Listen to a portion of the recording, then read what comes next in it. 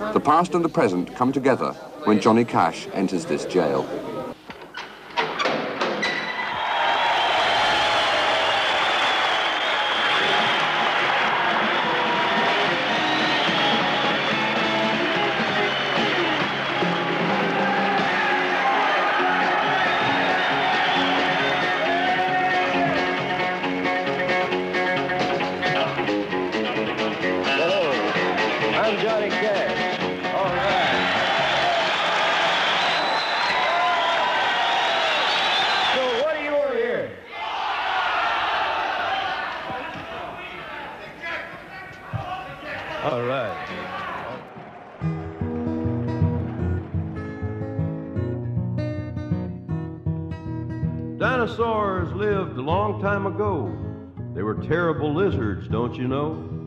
Some ate plants and some ate meat. Some ate fish and some ate beets. One was called a Diplodocus. One was bigger than your school bus. One was called a Triceratops. Three horns to stop anything that hops. Now, can't you just see yourself walking along, leading your pet Trachodon, or feeding your Brontosaurus Rex, or scratching your Diplodocus neck, or riding on a Stegosaurus back, or swimming in a Brachiosaurus track? Oh, what a time and oh, what fun playing tag with your Iguanodon. And if we had uh, dinosaurs now, could they get along with a horse and a cow? well, I wish they hadn't have become extinct. Dinosaurs would be nice pets and friends to have around to run outside and play with every day, don't you think?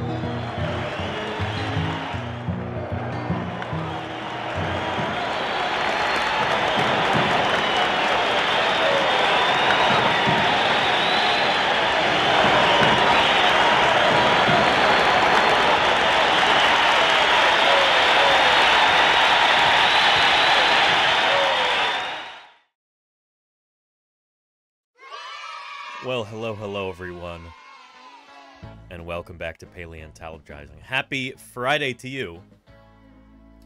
I'm glad you could be here today. We're gonna have a fun, chill stream. And you're here right at the beginning. So welcome. Holy cow. If uh, if anybody's here for the very first time today, then an extra special welcome to you. It's great to have you here. Let me introduce myself real quick. My name is Danny Anduza. I'm a dinosaur paleontologist. I'm here on Twitch trying to do some good old-fashioned science outreach. And, uh... Camera's looking a, little weird. Let me adjust these lights just a titch. Hmm.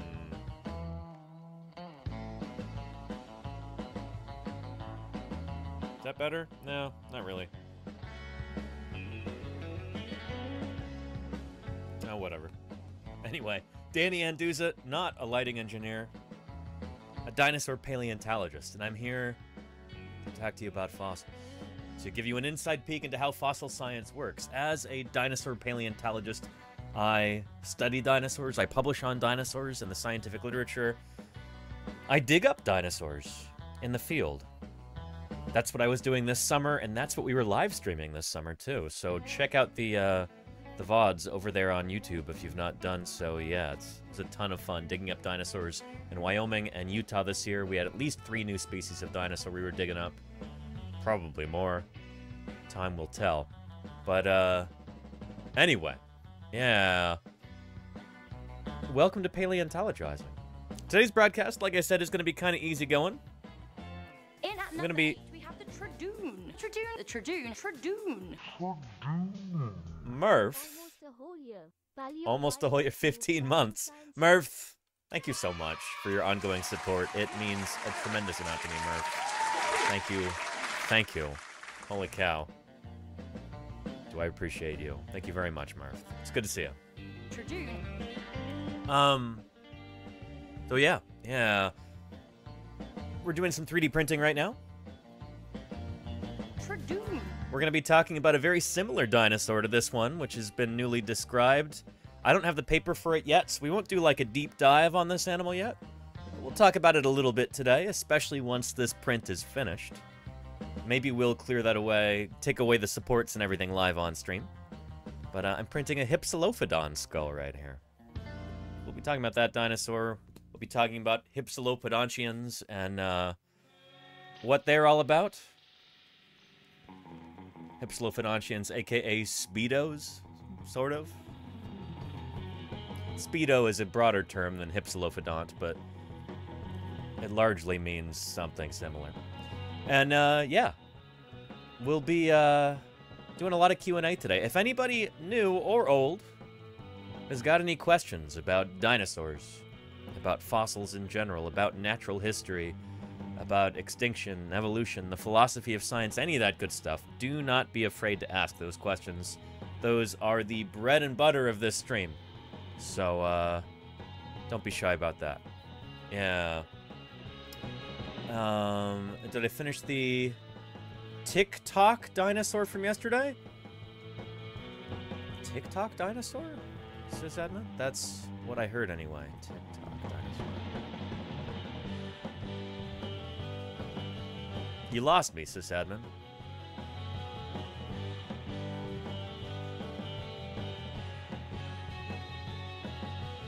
Fish. Oh, Tiktaalik! No, not a dinosaur.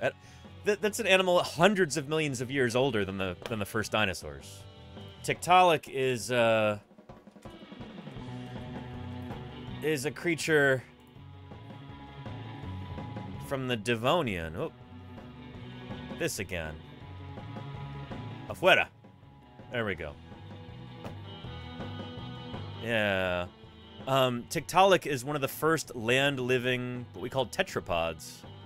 Um, in fact, it's like a a beautiful transition between fish that lived in the water and uh, and fish that live on land like us. Land-living animals with uh, with backbones.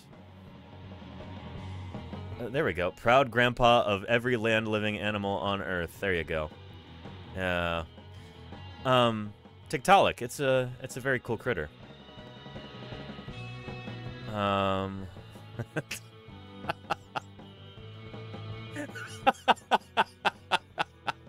there you go. So yeah, Tiktaalik, or a creature like Tiktaalik, was the ancestor of all the dinosaurs and us too, which is pretty cool. Yeah.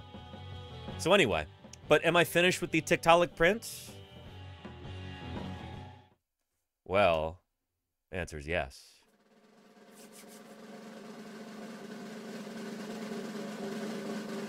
There's one piece there. There we go. There are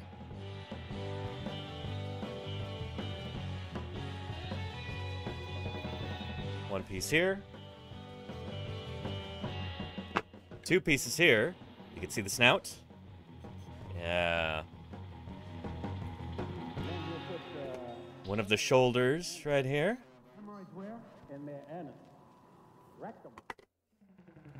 Another shoulder right there. Ooh. Got the back of the torso here. And here. And then the final piece goes on right here. I haven't assembled it yet. But a very busy morning, actually. Um, yeah, take a look at that. Tiktaalik right here.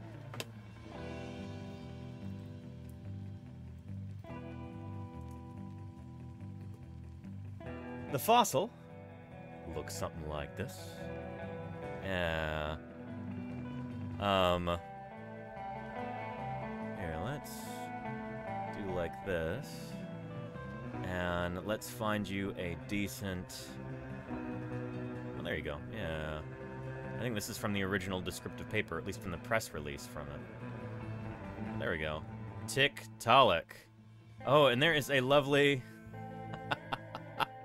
Long time no see. I like that. Ray Troll uh, image of this animal. I like that a lot, yeah. But Tiktaalik, yes, the name is uh, derived from the Inuit Inuit language. Very cool. And now we've got it here. I'm going to paint this, of course, because it doesn't look like much right now. It needs some painting to really bring it out.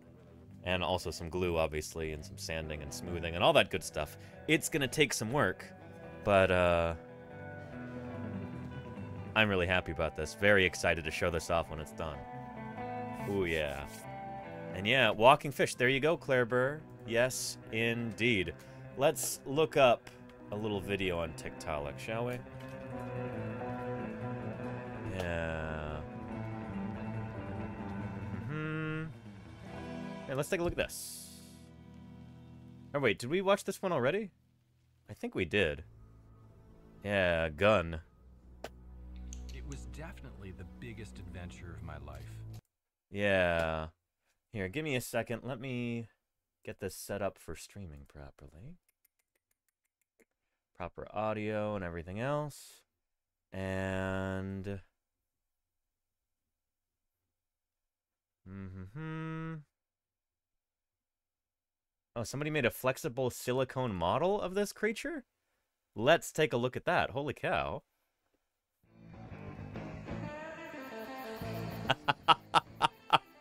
Oh my goodness, that's actually really beautiful.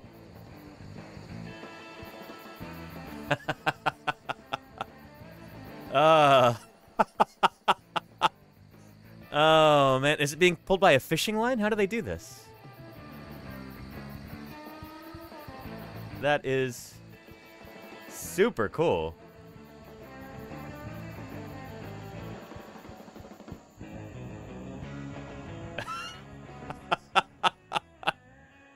Oh, that's really neat. Yeah.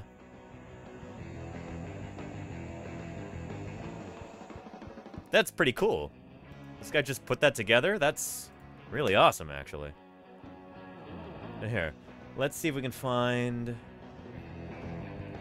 Hmm. This, maybe? Yeah, here we go.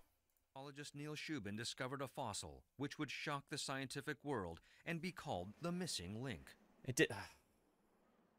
Not real. It didn't sh shock this. This is exactly what we expected to find. Um, in fact, it's actually like a wonderful example of how you can use paleontology to test ideas. It's paleontology is one million percent an experimental science. Some people say, "Oh, you know, paleontology and geology and astronomy, they're not experimental sciences. They're more historical sciences." Those people do not know what they're talking about. We run experiments all the time in trying to find new fossils. If a fossil, you know, if we have a prediction about like a certain transition in the history of life should take place at this time and place, we can test that hypothesis by going out to rocks of that age and seeing if it exists. And in this case, it did which is super cool. I'm guessing this is not super well written, though. We might watch a different video. He discovered this unknown species on Ellesmere Island in. Yeah, uh, nuts to that. Let's find something better. Um. Let's see here.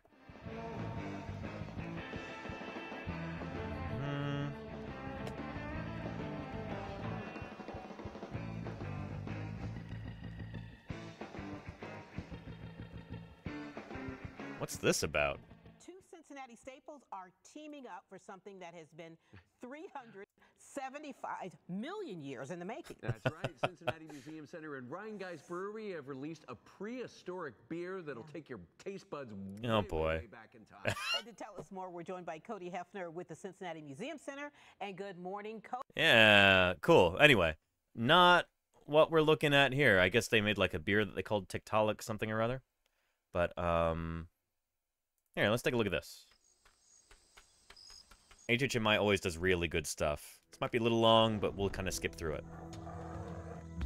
Yeah. Our planet is teeming with many kinds of animal life, including groups with defining structures, such as the forelegs of land animals, the feathered wings of birds, and the dexterous hands of primates. Uh, Understanding the origins of these structures and of the groups that possess them has long been a central quest of biology. Hmm. Charles Darwin asserted that each kind of animal D. must have evolved from pre-existing earlier kinds of animals that lacked those structures. He boldly predicted that buried in the crust of the earth were animals that connected one major group to another. this is an example of running an experiment using the fossil record. Make a prediction, you go out and test it, you look for the fossils. Such transitional fossils would be intermediate in form between earlier and later groups. What made Darwin's prediction so bold was at the time he stated it in The Origin of Species, no such fossils had been found. Nope. His critics immediately latched on to the admission that transitional animals are somehow missing from the fossil record. Over the decades, I mean, that's the thing is that the fossil record was barely explored at all at that point. You know? Uh, yeah, yeah. It's pretty funny. Like, so many people have such a problem with the idea that living things change over time. You know, like here. It's become a standard talking point for those who have closed their mind to the science of evolution. There you go. Yeah, this is the stuff, right? So this was. But in fact, since Darwin, paleontologists have unearthed hundreds of transitional creatures that have enabled Yep. us to reconstruct the origins of many groups.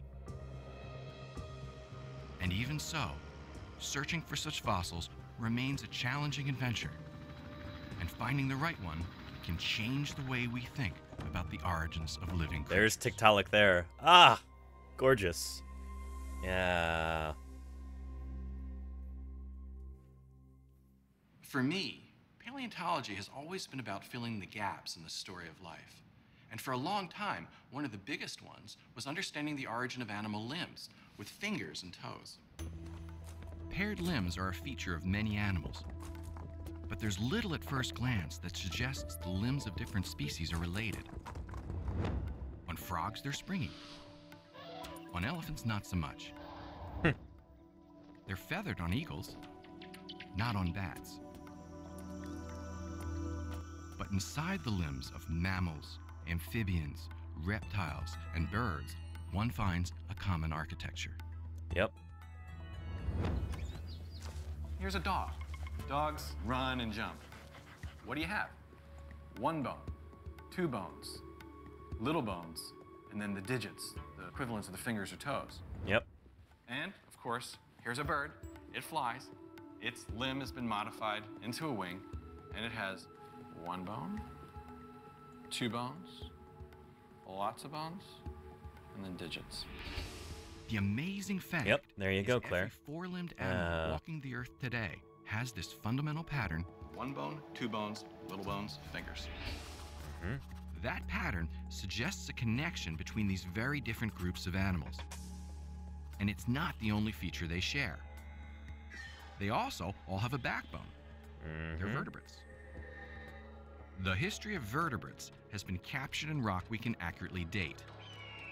Fossils reveal when each of these groups of animals first emerged. The youngest group is the birds. Go further back in time, and you'll find the first mammals, and then the first reptiles, and the first amphibians. And then you get to 370 million years ago. Yeah, with Suddenly, Tiktaalik. There are no four-limbed creatures or tetrapods anywhere to be found.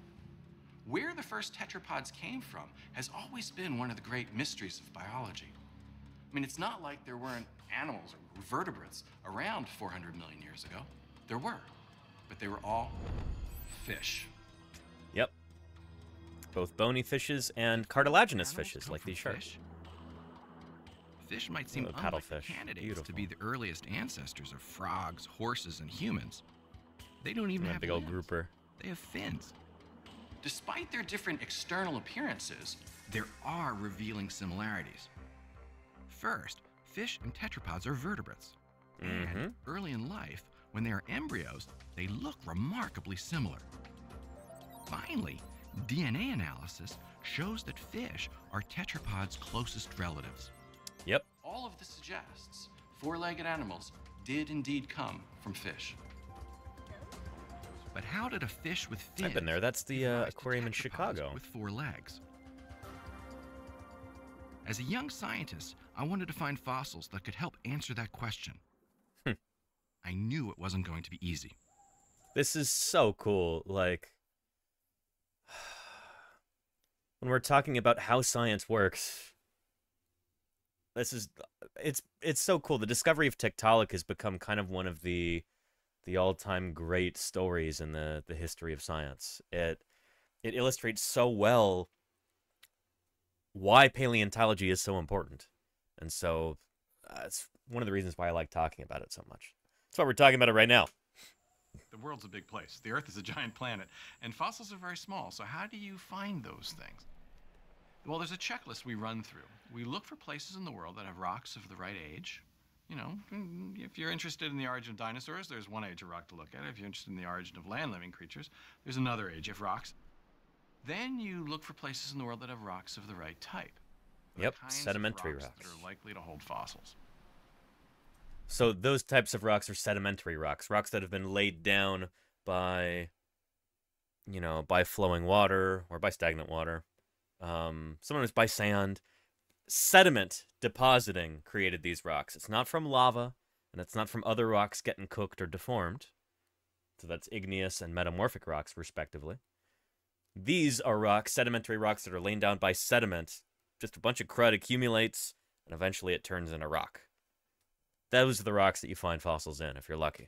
A lot of things have to come together for an animal to be fossilized.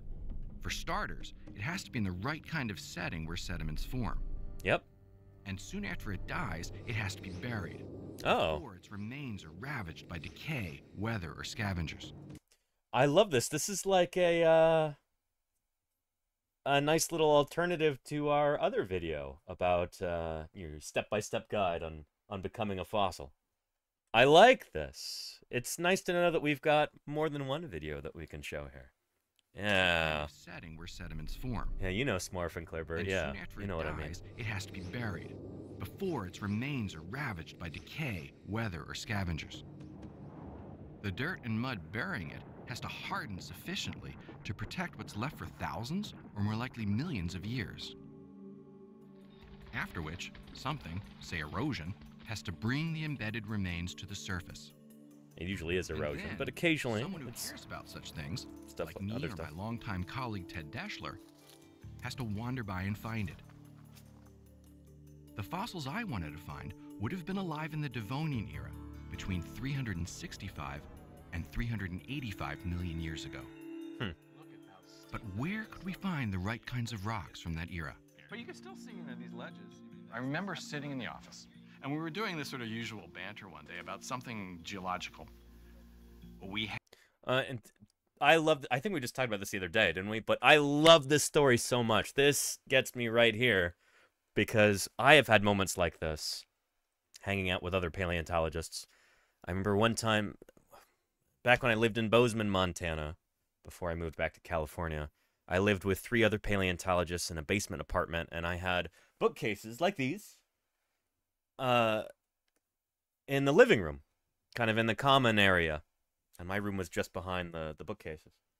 Um, so we used to hang out there on like a Saturday morning. You know, everybody would get up and have their coffee or hot chocolate, or you know, sometimes I'd make pancakes for everybody, and we just, you know, like, hey, what do you think about this idea? And we get into some sort of rollicking discussion about the history of life on Earth, and I'd be able to go over and pluck books off the off the shelf and be like, "Well, have you ever thought about this?" And like, look here at this illustration, check out this figure, that kind of thing. And it just became this free flowing thing. I I really missed that when I moved away, and it's it's lovely that I can kind of have a bit of that nowadays, but streaming here on Twitch. I guess it's kind of a solo performance, but you know, um, well, not really. We've got wonderful questions and insights from people in the chat. It is a give and take. Absolutely. What am I saying? But I really enjoy that. It's a lot of fun for me. But anyway, this I really relate to this because sometimes a book that you you pull off the shelf will have the kernel of some idea in it. All right, Morley, thank you for the raid. Molly has arrived with two raiders. Welcome to Paleontologizing. All right, Morley, how you doing? It's good to have you here. Tell me how your stream went. Yeah, we are talking about this critter right here, Tiktaalik, whom I finished printing early this morning. We still have yet to uh, assemble the pieces to glue them and then paint them. But uh, you'll see here's the snout right here. There's the body. There's the scapulae, the shoulder blades right here. You can see some of the scales along here. Yeah, it should look like uh, well, like this. Yeah, in fact, that's it right there. Come on, please, Embiggen.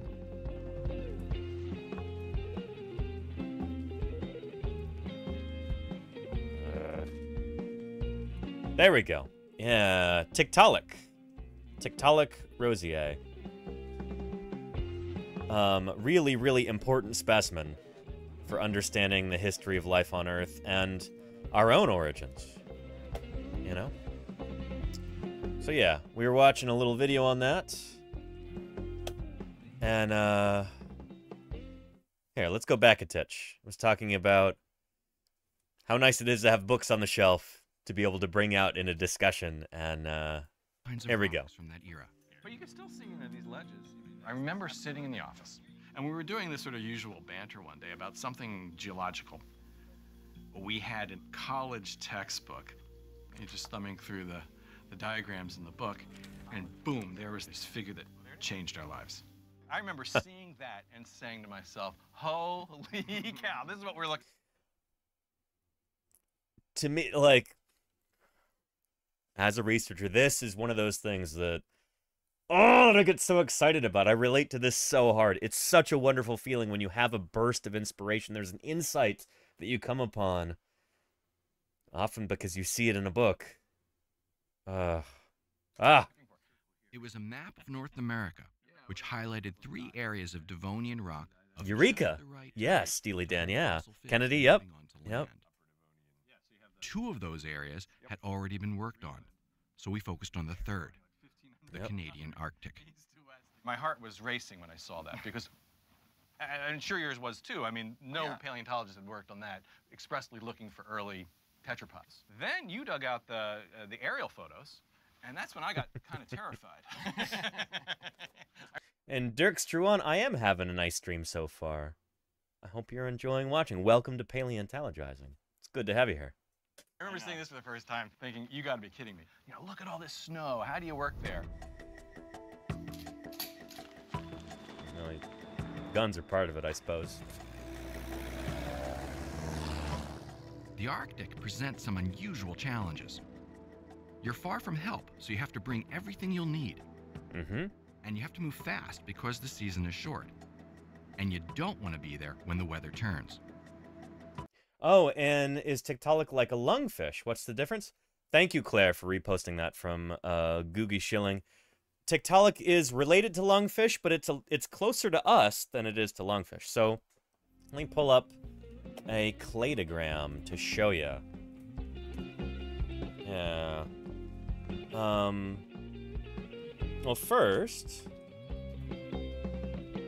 let's look at our tree of life here. Let's go to Tetrapoda, tetrapods.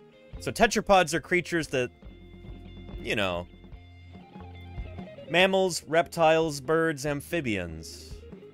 Strictly speaking, birds are a kind of reptile, but whatever. We're going to simplify things here. Tetrapods are this group right here. That's all of these creatures, including us. We ourselves are tetrapods. We are mammals like this opossum. So here's some examples of different tetrapods. Everything from birds to frogs to turtles are all tetrapods. Now, zoom out a little bit. You widen that circle just a little bit. Like the next Russian nesting doll there, the next bigger one is lungfishes and tetrapods. Dipnotetrapodomorpha. And then lobe-finned fishes, including tetrapods, are that one. So tetrapods are a kind of lobe-finned fish, which is pretty cool. So you branch off right here, you get to your lungfish. Um, Tiktaalik would actually be a little bit closer to true tetrapods than uh, than modern lungfish. So let's try. Uh,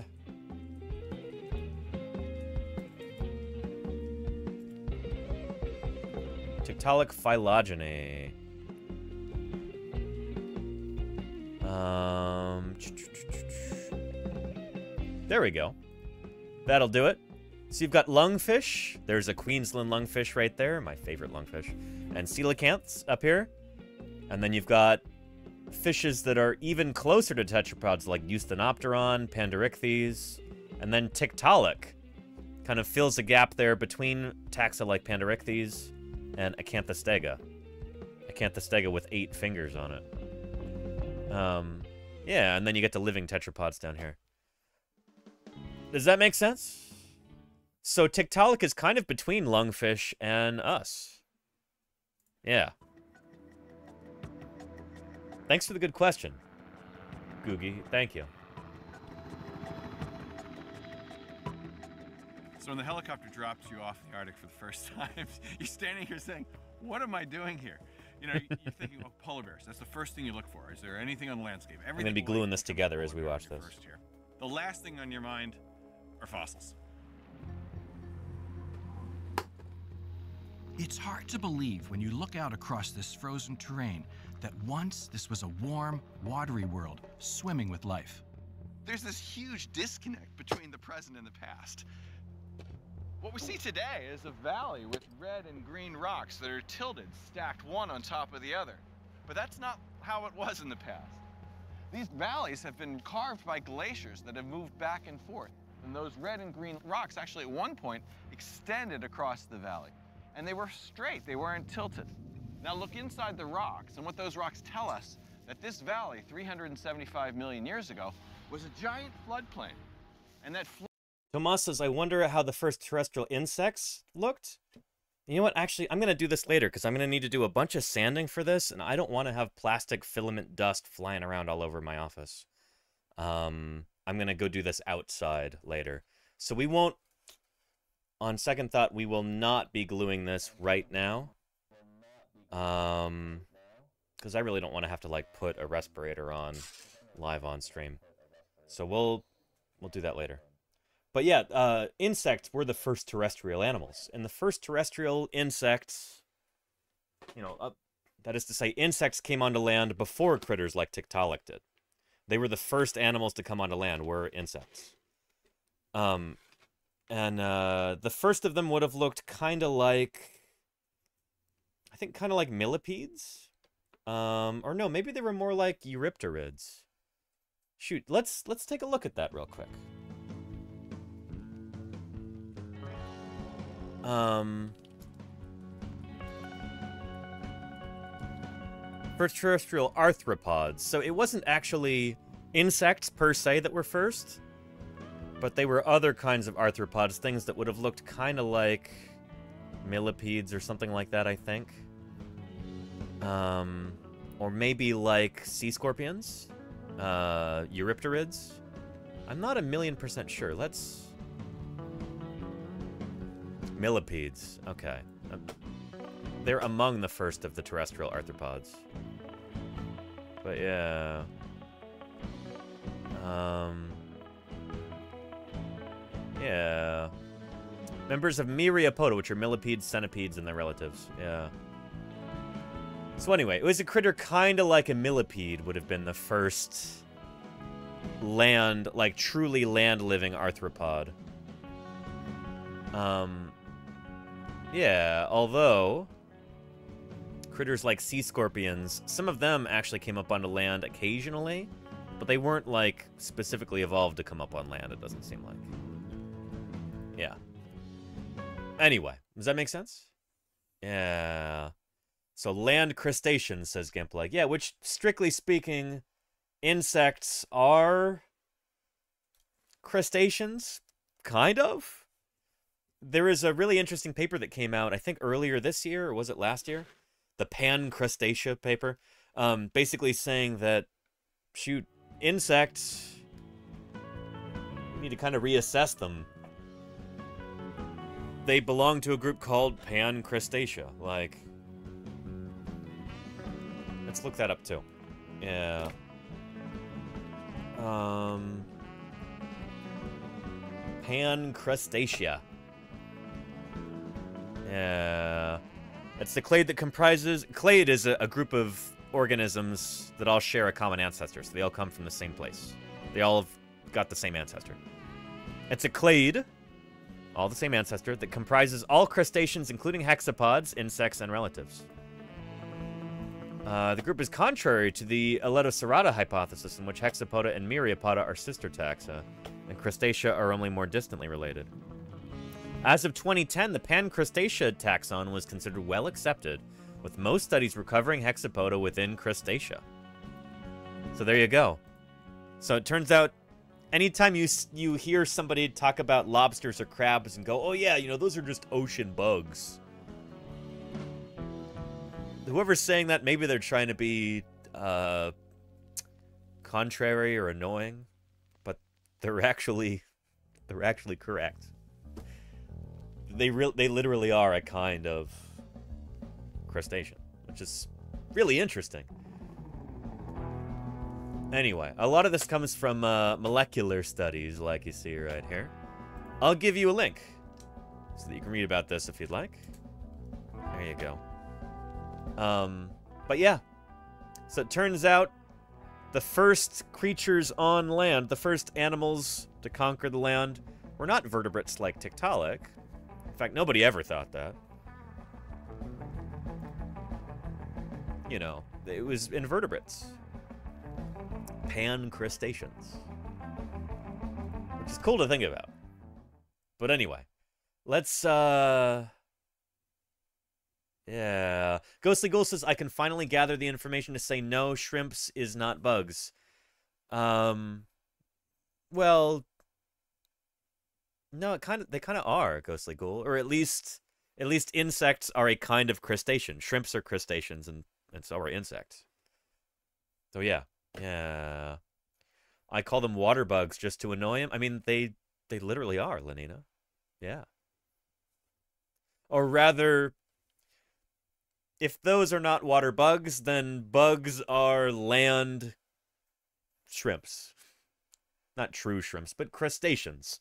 You know, insects are crustaceans. And SB Harkin says horseshoe crabs are spiders. They're not true spiders, but they're related to spiders. Here, let's go back to our tree of life here. Let's jump from there to Limulus. There we go. The horseshoe crab. Yeah. So these guys are related to spiders, but they're not true spiders. Does that make sense? Horseshoe crabs. Merostomata. Uh, so they're related to spiders and ticks and scorpions. They're their own group, so they're not a kind of spider, but they are closely related related to spiders, mites, scorpions, and their relatives. Ticks, too. So yeah. Yeah. Uh, and Kennedy, yeah, true bugs are insects that have sucking mouth parts. Usually, I think, Kennedy, yeah. Yeah. Uh, Ken, how are you doing? Hello, hello, welcome back. It's good to see you. We're talking phylogeny right now, obviously. Yeah. And bugs are land shrimps. Nice, says Triceratops. Kind of. Not true shrimps, but they're land crustaceans. Yeah. Um. Anywho, let's get back to uh, Tiktaalik. We were talking about the uh, the origin of land animals. By the time Tiktaalik was flopping up onto the land, we already had, uh, you know, animals on land for a long time before that. But they were all arthropods, crustaceans, and then insects crustaceans and then myriapods, things like uh, millipedes and then insects. But yeah, yeah. Floodplain. These valleys have been carved by glaciers that have moved back and forth. And those red and green rocks actually at one point extended across the valley. And they were straight, they weren't tilted. Now look inside the rocks, and what those rocks tell us that this valley 375 million years ago was a giant floodplain. And that floodplain was filled with rivers that swelled their banks and sometimes shrunk, but in those conditions formed swamps and streams of all different sizes. And Hmm. inside those streams was diverse life. Yeah. including critters like suspected, Tiktaalik, yeah. a fish with features that would ultimately enable animals to walk on land.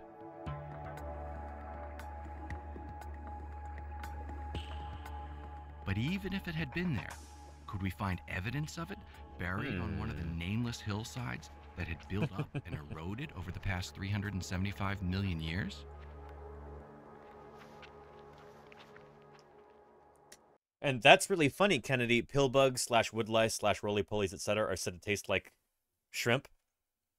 Well, they are cresta- They are true crustaceans, Kennedy. Those critters are true crustaceans. People think they're insects or something like that. They're not. Not at all. They are crustaceans. Again, going back to our tree of life here, if we look up Isopoda? Isopods. Yeah, isopods is the name of that group. Pillbugs, sowbugs, roly-polies, whatever you want to call them. Yeah. Isopods. They are a kind of crustacean, which is really neat. Yeah. Um. Yeah. Uh, here, if we, uh...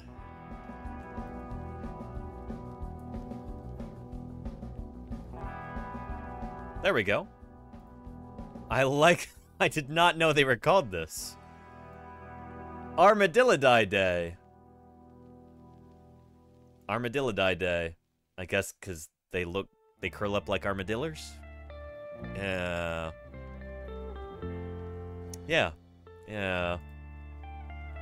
Anyway, for the band, see the Pillbugs. They're an American pop and power pop and psychedelic pop group that emerged from the indie scene in the late 90s. Wow. Anyway, they are not crustaceans, but these guys are. Armadillidiidae. They're, uh, Pillbugs and co.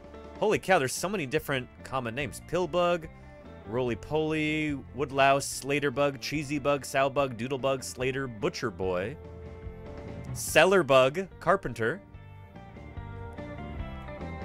family-friendly broadcast, not to say that, door closer, Parsons pig, bench biter, chiggy pig, chucky pig, potato bug, or grammar sow, great grammar sow. There are actually even more common names for these guys in the U.S., too. It's kind of funny. But yeah, pillbugs. These guys are crustaceans. Shoot, that's the whole reason I, I pulled this up is to show you that they're crustaceans. They are a terrestrial crustacean group in the order Isopoda. So there you go. If you want to read more about them, there you go. Yeah. Why are the bugs cheesy? Don't taste those, says Brannington. I would agree. Yeah. Yeah. Yeah. Piggy Pig. I mean, little did you know when you tuned into this broadcast today, Ghostly Ghoul, you'd be learning what a Chiggy Pig is. Who calls them that? Chiggy? It's, it's got to be the Brits, right? Yeah. In Devon in the UK. Speaking of Devon, this time period that we're talking about right now from the video is called the Devonian. The Devonian period. Right there. It is named after Devon in the UK. Uh, because that's where its rocks were first studied. So yeah, the Devonian. There we go. But even if it had been there, could we find evidence of it? The Age of on one Fishes. the There you go, numerous Claireburg, yeah. That had built up and eroded over the past 375 million years? Is that right, Kennedy? That's really funny. So how do you find fossils? I pick up a lot of stuff, right? Sometimes it's Prospecting. This is sometimes most it's of the time. poop, That's sometimes it's a leaf, uh, but occasionally, you know, it's a jaw with teeth in it. So what you begin to learn is to tell the difference between white, which is not bone, and white, which is bone, teeth, or scale. Once you have that in your mind, then you start to apply that search image to other rocks. Here's another scale here that stands out like a sore thumb. And then we go, if you look around, right, right here. Okay, so this is the underside of a, of a skull. So you never know where you're gonna hit it around here. You know, that's why we keep on looking. Yep. Prospecting. That's how it works.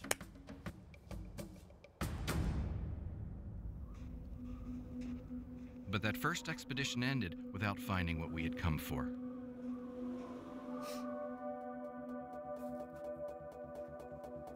And as our second trip drew to a close, we were still searching. Then, a bit before our scheduled departure, we had a real scare. The team had separated. And the idea is everybody needs to return back to camp by radio call. You guys see Jason? No, I see Jason. You see Jason? I, said, I asked you that question. You didn't see Jason? No, all of a sudden it became, where's Jason? This is our youngest member. We were looking out for him the entire Hmm. season, and no Jason. Uh-oh. I mean, my heart was really beginning to race. R.I.P. Jason. Holy cow. uh, I'm guessing the gun is for polar bears, Steely Dan? No, don't ever. Chat, do not ever give a gun to a polar bear. That's not a good idea. Um, shoot, you know, if you. It's not even a good idea to give a moose a muffin. You should never give a gun to a polar bear. It's dangerous enough as it is. The the world's largest terrestrial mammalian carnivore. You don't want to give that animal a gun. What are you thinking? Holy cow. Anyway, entire season, and no Jason. I mean, my heart was really beginning to race. I hear footsteps egg a pancake? tent. That's that's probably fine, Creatrix Brit. His eyes are like globes, and he's like, "I found it." I mean, there, every pocket was burgeoning with bones. Because I got these bones. He's laying them out on the table, one after another. It's daylight 24 hours a day, so we ran down to Jason's site. As soon as we came to this bluff here and looked down, we saw why Jason was so excited. Because beneath our feet were fossil fish bones, fragments of fossil fish, many of them, thousands of them. It wasn't just one fish, it was a whole aquarium. It was different species. It got better because as we walked up the hill and we followed that carpet of fossil fragments, it stopped, meaning Hmm. it likely came from one layer. And if we had any luck at all, we'd find that layer and see what's inside. Look, look, it's glowing like in a video game. See? Right here. Look. And we followed that carpet Hup. of fossil fragments. Yeah. Um, I just, as a, a working vertebrate paleontologist, you know, I, um, there's loot there. Exactly, Steely Dan. I just want to tell you, having worked in the field and prospected for fossils many times, um, it is actually exactly like this. Just like in a video game. Like the ground will glow and it'll make like a little kind of noise. And that's how you know that there's fossils there. And then you press X to dig them up, you know? Meaning it likely came from one layer. And if we had Obviously, I'm kidding. If anybody's. That's the thing about Twitch. You never know if somebody's really, really taking you seriously when you're making an obvious joke. So I want to want to make it clear that I am making a facetious remark here. This is a joke. These are spoofs and goofs. You know? But yeah, they added this in post. It doesn't ground doesn't actually sparkle like this in real life. At any luck at all, we'd find that layer and see what's inside. Yeah. Hard as we tried, we couldn't discover what was buried in Jason's Making notes. There you go, Tommy had to yeah. Maelstrom doll. But we kept coming back to it in following years. To dig, chip, and go. Golganek, yeah. The second week of July in 2004, we're all working in series in this hole, you know, where my head is right next to Farish's feet. And Farish's feet is next to Steve Gatesy. We're digging together, and Steve says, Hey guys, what's this? Oh, and by the way, is next to Steve Gatesy. oh, you see this very expensive looking piece of equipment? Um, this is something that I actually have on the Amazon wish list. Um, yeah. Uh, this is an extremely, uh, you know, expensive and, and complicated piece of, uh, is next to Steve Gatesy. of, of scientific instrumentation. It's called a whisk broom. Yes, and I believe there's one of those on the the Amazon wish list. There you go, Smib. Yeah, I know, right? You know, paleontology. We only use the latest and greatest technology. Um, like uh, what is it? Corn fiber brooms. Um, screwdrivers for digging hammers and chisels you know holy cow uh yeah Five star rated by rodents everywhere. There you go, and yeah, you remember it got eaten by rodents. Um, there you go, yes, yes, Stephen Jay Gould, peace be upon him. um, yeah. Brannington says corn brooms take me all the way back to shop class in high school. I'm sure that's not very far, Brannington. You seem young and sprightly. You give that impression, Brannington. Yeah. Yeah. My head is right next to Farish's Um, oh, see, whisk broom. Farish's Oh, and an Steve awl? Gates. We're doing Yeah. Steve says, You see that, just the incredible uh, precision and like these are devices that are, you know, they cost a king's ransom. You know, all this complicated high tech machinery. Hey guys, what's this? Ted and I go running over to see what Steve was referring to. A quarter of a century old, Bradenton? That's older than me. I'm 21 and single, remember everyone? Yeah. what we saw was this V here. It was covered with Oh. rock. And as soon as we saw this V and we saw these teeth under it, it became very clear that this little V we're seeing is the tip of the snout. And that this was a snout of a flat headed fish. And it was sticking out of the rock. So if we had any luck whatsoever, the rest of the creature would be encased in the rock. And here it is. What's really wonderful about this specimen is that we have pretty much the whole thing, and the whole thing is put together. That is, the, head right is connected to the body, Yeah. and the body is connected to the fins. So we know that this fin comes from this body. Yeah. And when we put it all together, we see this creature's about four feet long, and some of the biggest were about nine feet long. What's really amazing is that this is an animal that Darwin would have predicted. A Yep. real mix of characteristics, a combination of fish like and tetrapod like features. Like a fish, it has scales in its back, and it also has fins with, with fin rays. But like a tetrapod, it has a flat head with eyes on top.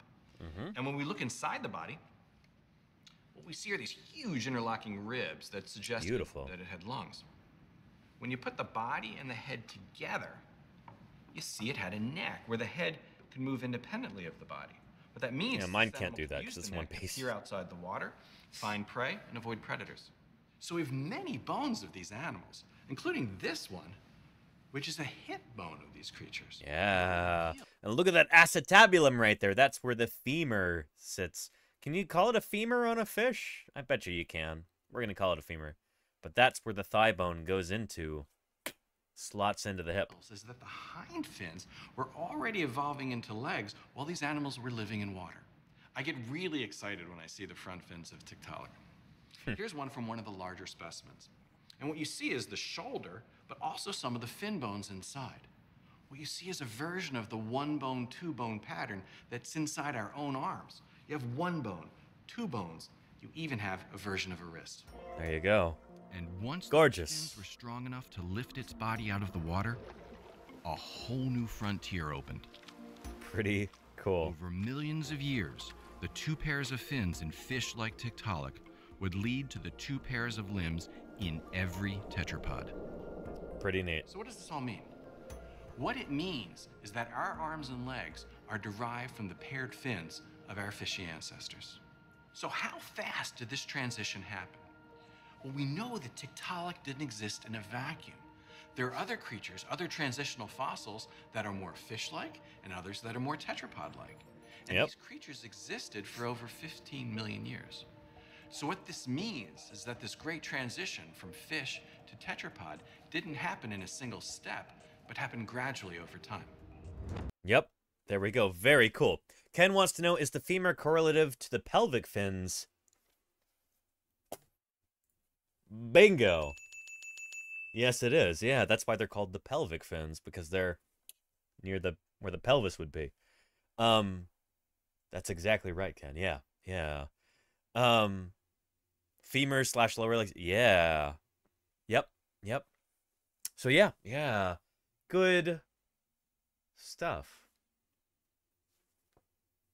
Anyway, this was a huge deal when it was published, which is really cool. I love how big they went with the press on this. It it makes makes me really really happy to see this. This is around 2006 or 7, I think. Something like that. Um yeah. The discovery of Tiktaalik made headlines because it is one of the earliest in a series of fossils that illuminate the transition from water to land. And that's just one key transition that fossils have shed light on. Yep. One of the very first Archaeopteryx. was the evolution of Right birds here. from feathered dinosaurs. That's now one of the best documented transitions in the story of life. Could be better though. We're working on it. Other well-studied examples tell us is that what at first seemed to be huge leaps are almost always products of a series Which of smaller my speciality. There you go, Ken. Yeah, me neither. That's true for when our fish ancestors first came to land, when dinosaurs took to the air, and when we first stood upright.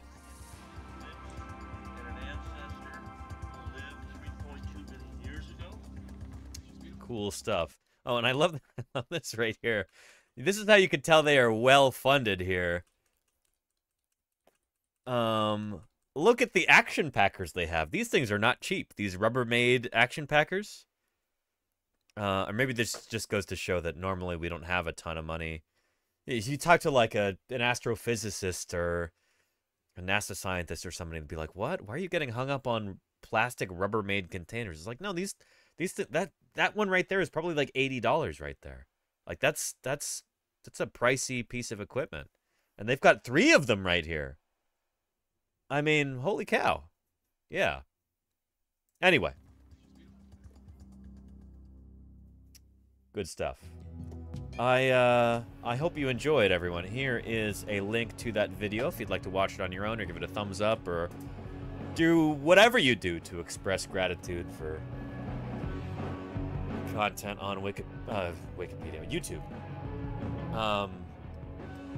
So yeah, yeah. Uh. Good stuff. Kennedy says, "You know how smart the cetaceans are? They looked around and decided to go back to the ocean." Yeah, a lot of creatures have done that over the years. Sea snakes are one. Sea turtles. Sea lions. Seals. Actually, with sea lions and seals, it's the same event, I think. They split early on, pinnipeds. But anyway, marine iguanas, yeah, they're they're in the process of doing that, Steely Dan. And inshallah, they will continue to make that transition, and they will become fully marine at some point. We'll see. Yeah. Uh, and you did see sea snakes scuba diving in the Philippines. Kennedy, it almost sounds like a tongue twister. And it's therefore likely that we're here today because, by the luck of the draw, dinosaurs who had been dominant over mammals in ordinary times got felled in a mass extinction. I It's was true. in San Diego this week. Sat Ah. at bar next to a guy that didn't think dinosaurs existed. Oh, boy! I at first, Courtney Raptor, I thought you were gonna say that you sat next to the bar at a. Well, at first I thought you were gonna say you went to the NAT, the Natural History Museum in San Diego, and then I thought you were gonna say that you sat next to a paleontologist, but in in fact it's the opposite. How did you find out that he didn't think dinosaurs existed? Has he never seen a bird? Only made it to the zoo. Oh, the zoo is brilliant. So I'm glad you got a chance to see that. One of the best zoos in the world. Uh, but yeah, unfortunately, that is a thing. Thank you for the 11 months of support, by the way, Courtney Raptor. I appreciate that more than you know. Thank you very, very much. Thanks for keeping me here on the air. But I don't know. It. I guess you know, the internet can be used to to make the sum total of human knowledge more accessible to the world at large, or it could be used to make people so much stupider, which is unfortunately the case with stuff like this. Um Yeah. Ugh.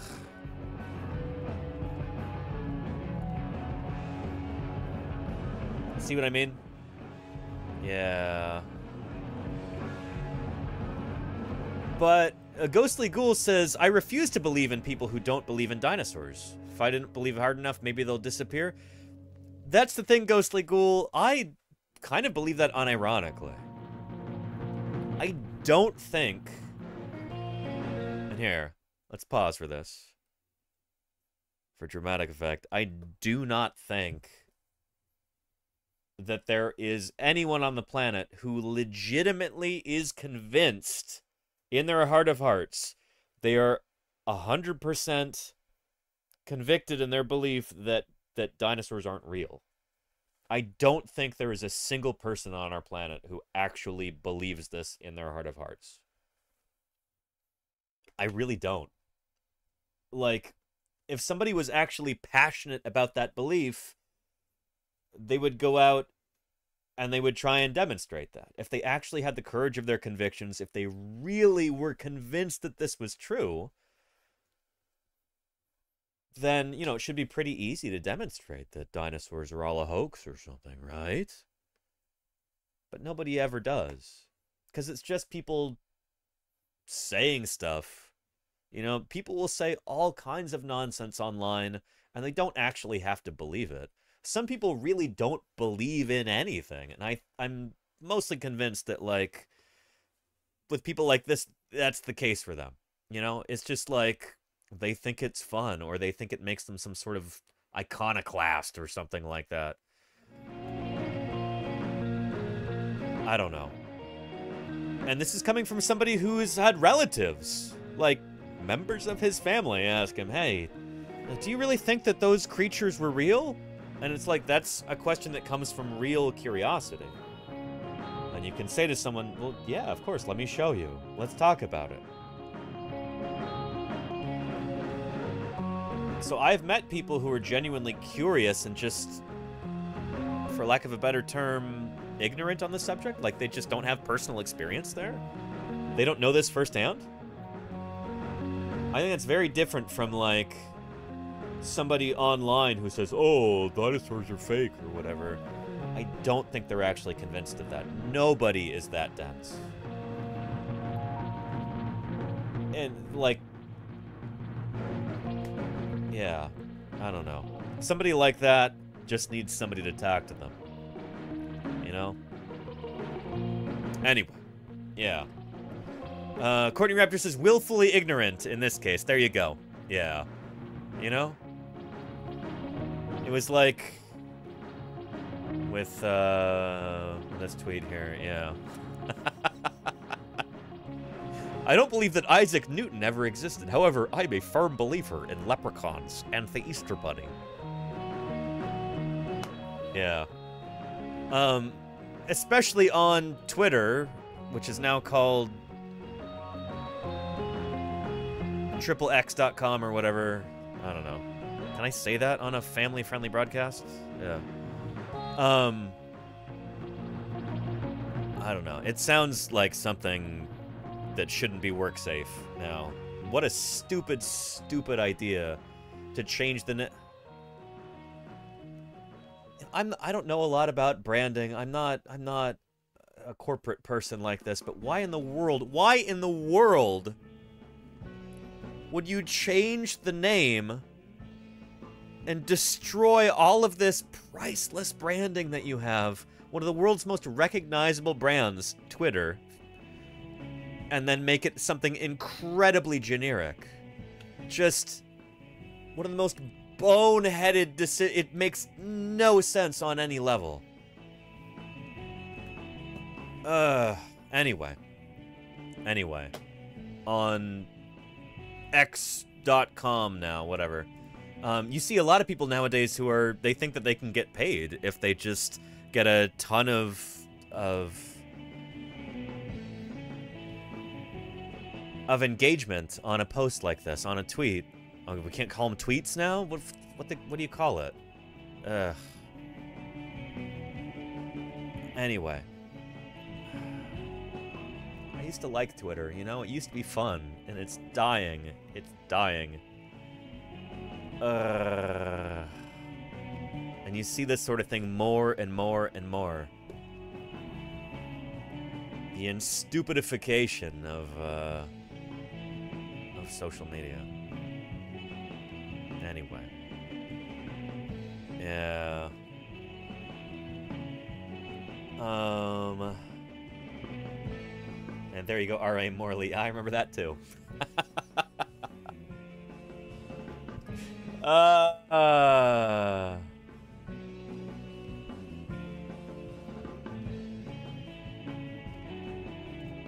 But anyway. You know what? Let's take a hard left right here. Let's whip the wheel around and let's get into something more positive. This is a nice Spanish moment. Thank you there, Ghostly Ghoul. Great song by The Clash. Oh, yeah. Yeah. I stopped by the P.O. box yesterday. And so let's do some PO unboxing. I don't have a video sting for this segment yet. I'd like to make one in the near future. I've got some ideas. But some members of this community have very kindly sent some stuff to the P.O. box. Why don't we go ahead and take a look at some of that? Raise our spirits a bit. Celebrate this community. Yeah. Uh, and R.A. Mortley, that is really cool. Planting trees in India? I've not heard about that. Send me a link. I want to hear about this. Yeah. I was kind of astonished when I went to the P.O. box yesterday. There was so much in there. I was not expecting that. Enough that they had to put certain things into like a locker. They put a little key in my box so that I could go get it out. Let's take a look at what members of this community have sent in.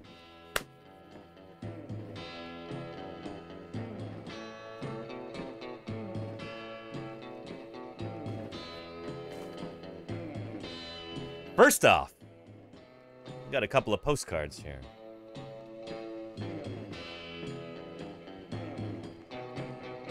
And the first one has got a mammal on it. Take a look at that.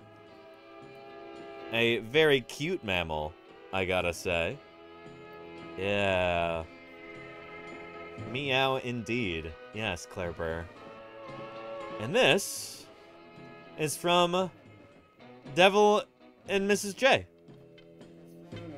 Greetings from Tennessee, it says. I just wanted to say hello and thank you for all the wonderful content. This is sent to me and Ios and Lord D, so I'll have to pass this along to them when I see them next. But thank you, thank you, Devil and Mrs. J. I appreciate you thinking of us. Look at that kitty. Oh, beautiful. I almost wanted to orient it like this, but that implies that the cat is stuck to the ceiling, and I don't like that idea as much. I like this a lot more, and that's good because this is the true one. And is that catnip right there? I think it is, Claire. Here, let's take a look. Let's go up close.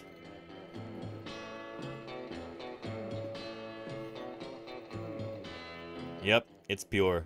That's catnip there. Yeah. Nice. Very nice. Yeah. And it is a cat, so possible, Rizadega? Possible it could be stuck to the ceiling? I suppose. But that implies that the ceiling is very sticky to also hold all this catnip. So, Occam's razor you know, the, uh, what is this? The idea that uh, a hypothesis which requires the fewest number of assumptions is probably the, the correct one. Uh, it's probably, it's probably oriented like this. That's probably the floor. But yeah, anyway, thank you, Devil and Mrs. J. I appreciate you. Yeah. Thank you, thank you for thinking of us. I will pass this along to Ios and Lordy so they can show it off on their streams too. Yeah.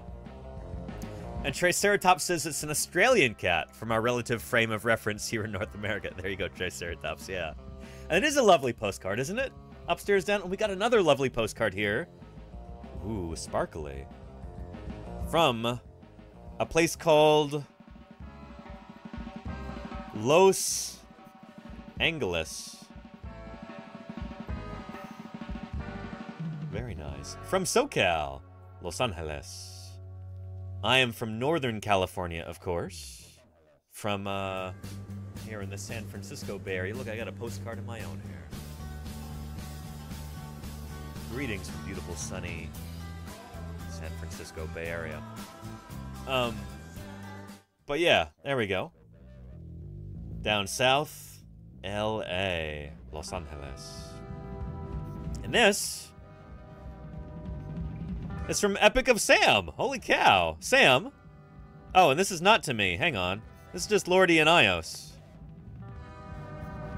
Well, Sam, thank you for sending this. I will give it to Lordy and Ios. You know what? Not for us. Not for uh, ouch. I know, right? I will give this to Lordy and Ios. Thank you, Sam. Yeah. I didn't even check. uh That's funny. Anyway, I'll make sure it gets to them, Sam. Yeah. the perils of a shared P.O. box. There you go, Squiggles. You know, we're, we're on a budget.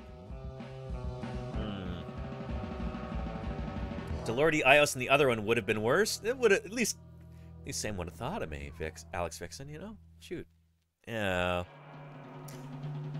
But we've got three more items. And uh, increasing in, in size, we have this one right here. I don't know who this is from. Let's see here. USPS first class package. Well, well, well. Let's uh, open this up, shall we? To Danny Anduza there at the P.O. Box. What might this be? What wonders await in here? Check for ticking and wear gloves. Here.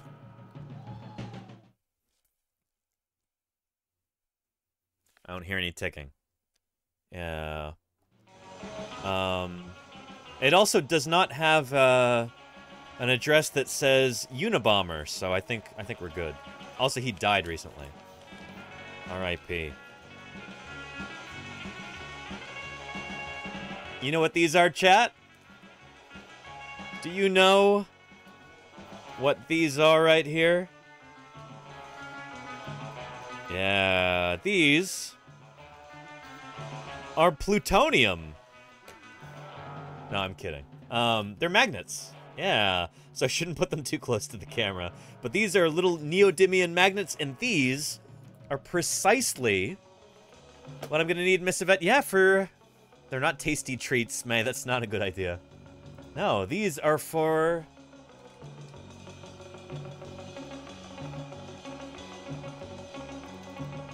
Um...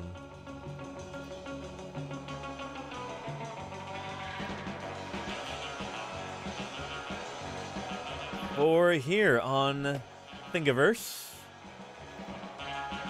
18 piece magnetic human skull model. I'm going to be printing this. Yeah.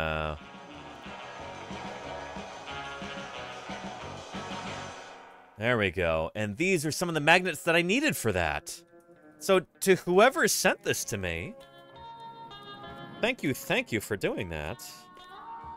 I don't know who you are, but Anonymous Hero, I appreciate you. Thank you very, very much. That is...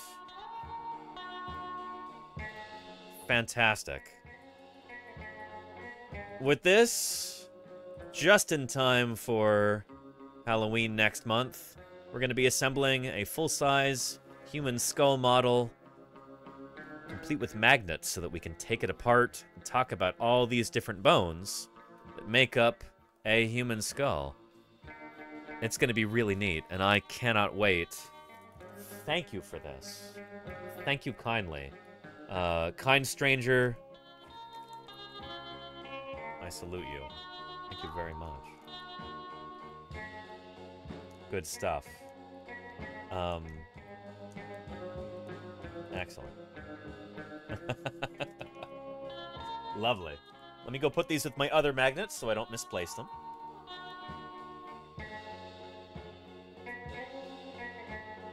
And Squiggles says that'd make for a cool puzzle. Put the fossil together. Oh, you have no idea.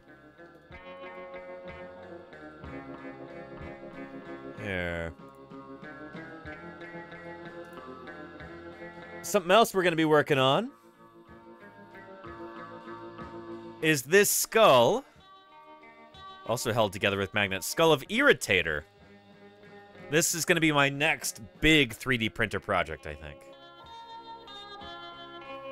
That's going to be really, really neat.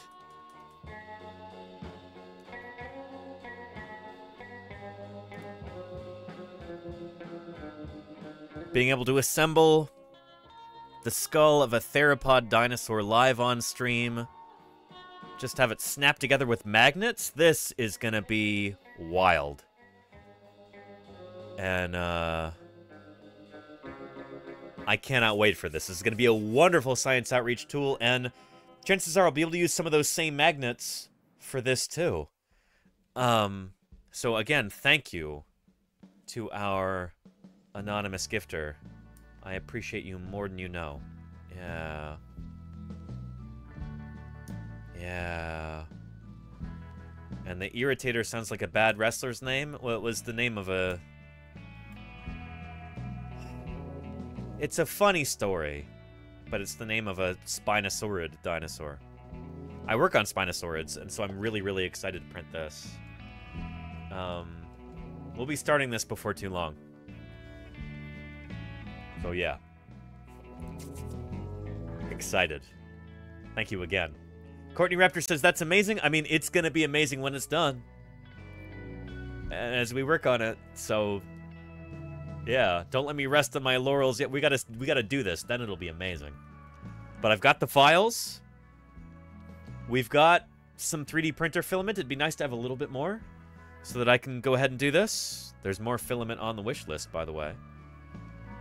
Um, but yeah, to whoever sent me these magnets, these are not from the Amazon wish list. This was somebody who took the initiative to find those magnets elsewhere on the internet. Go to that site, go to checkout, put the P.O. box address in there, and then send it to me. This took some real foresight, and I really appreciate it. Honestly, buying things off the Amazon wish list is so much easier this person went the extra mile, so thank you for that, and I appreciate you very, very much. Yeah. Good stuff. Now we've got two more items here. Let's check them out. This next one here. Yeah. Is from Amazon also. But this also implies it wasn't on the wish list. Because it went to the P.O. box here. What could this be, and who might it be from? Well, well, well. Let's find out. Well, well, well. B-U-Y-S-K mini table clamp small painting and crafting. That sounds useful. What is this? You know what that is, Claire Burr? Well, well, well. Let's put the tape on these so I don't have to rip the box. Who knows, maybe we could reuse the box or something. Reduce, reuse, recycle. Repeat. Well, we've got a beautiful little clamp here. Very nice. Yeah. This looks like it will be quite useful. Like a little vice clampy guy. For, uh, for use in 3D prints. Really, really cool. Uh, to help hold your things when you're tearing off supports or sanding. You helped pick this out, Claire Burr? Thank you, thank you. I really appreciate that. And it should be reversible? That's really nice, Claire. Thank you, thank you. Who... Well, Claire, you, you must know who it was who sent this originally. Who was that? Gamers Tavern Show, thank you for the follow. Welcome. Welcome to Paleontologizing, Gamers Tavern, Tavern Show. How are you doing? What brought you here? Welcome. Yeah. Um. Good stuff. This is going to be really useful. I really appreciate this. This is really nice. Um, you just printed one like that. Very cool Retro Roadshow. Nice. Checking with them now. Thank you, Claire Burr. And that is a very thoughtful gift. Not asked for, but very useful. I will be using this as we work on more of our 3D prints, like our Hypsilophodon skull that we're printing right now. This should actually be done pretty quick. And then I've got a Heterodontosaurus skull to print after that. Um, lovely. Yeah. And the vice clamp gets the job if the clamp isn't fit to serve. There you go, fall machine. Oh no. yeah. Um. Yeah. Played by Christian Bale, right, Fall Machine? Anyway. Um, really lovely. Thank you, Claire, and anonymous, generous gifter. I appreciate that very much. This will be useful. I'm actually looking into getting a new workbench. This will go really, really well on that, and I appreciate it. Yeah. And Young Black Economist says, well, thanks for getting me through that 50-minute commute. Have you got some sort of unlimited data or something like that, Young Black Economist? That sounds awesome. Were you were you listening to me during your commute? Were you driving or or on the train or taking the ferry or a camel or, or what? Horseback? I used to have to do that almost every day too. It's really nice to not have to commute that far anymore. Definitely unlimited data. There you go. Nice. Well, Young Black Economist, it's good to have you back. Welcome to Paleontologizing. And welcome home. Take a load off. Let me know if you've got any questions about fossils. We are going through... We've got one more item. Again, thank you, Claire Burr and uh, generous anonymous gifter for sending me this clamp.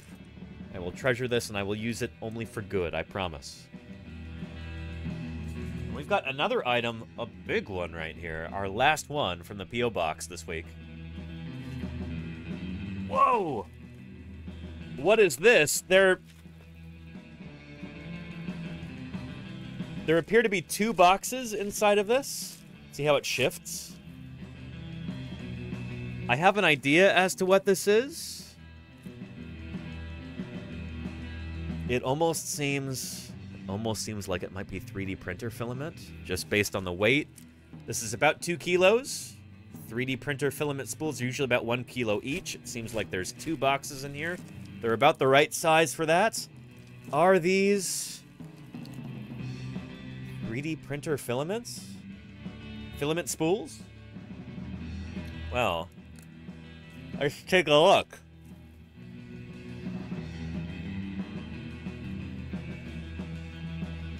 Ooh.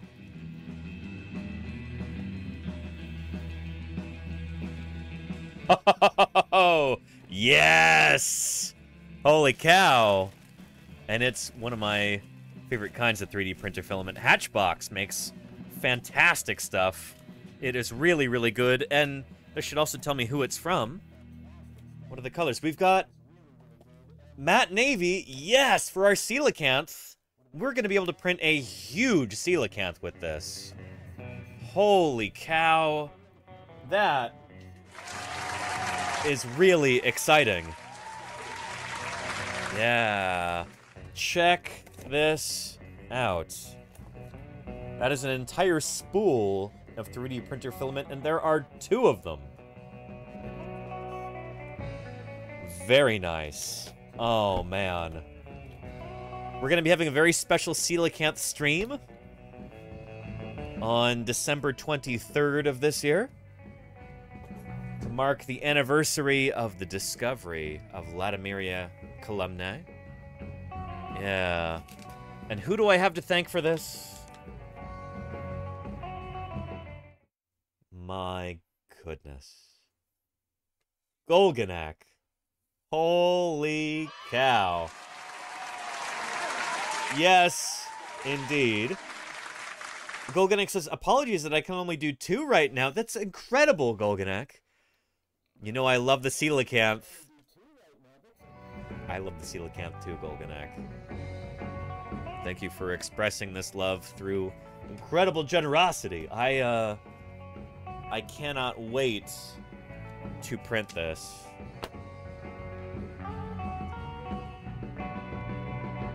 I might have to wait, but holy cow, it's gonna be big when we do it. I gotta make sure it's done before December 23rd when we have our special coelacanth stream. Yeah. And let me show you the coelacanth model that I have here. I believe this is it.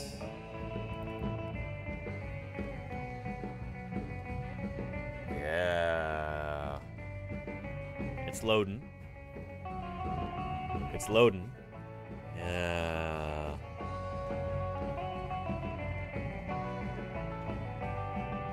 It's taking a while to load. It's a big that's a big file. Um plenty detailed.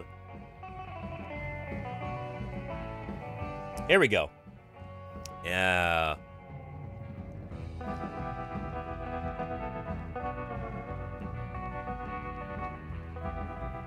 Sure is taking its sweet time here. One hour later.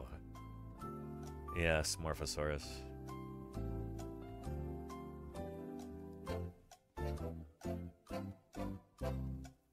Yeah, there we go.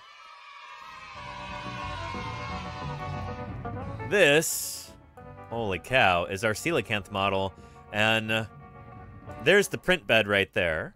That's how big they suggest that we print it, but I think I'm going to be embiggening this significantly.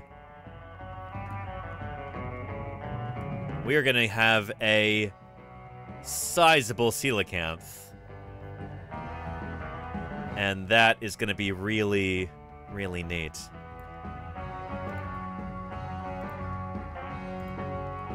Yeah, holy cow. Is that going to be awesome? Check that out.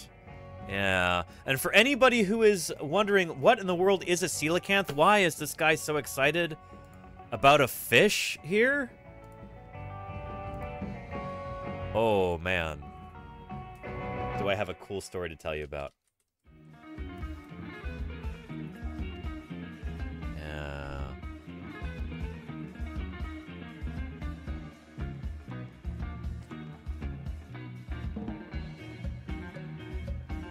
Let me find you a decent video here.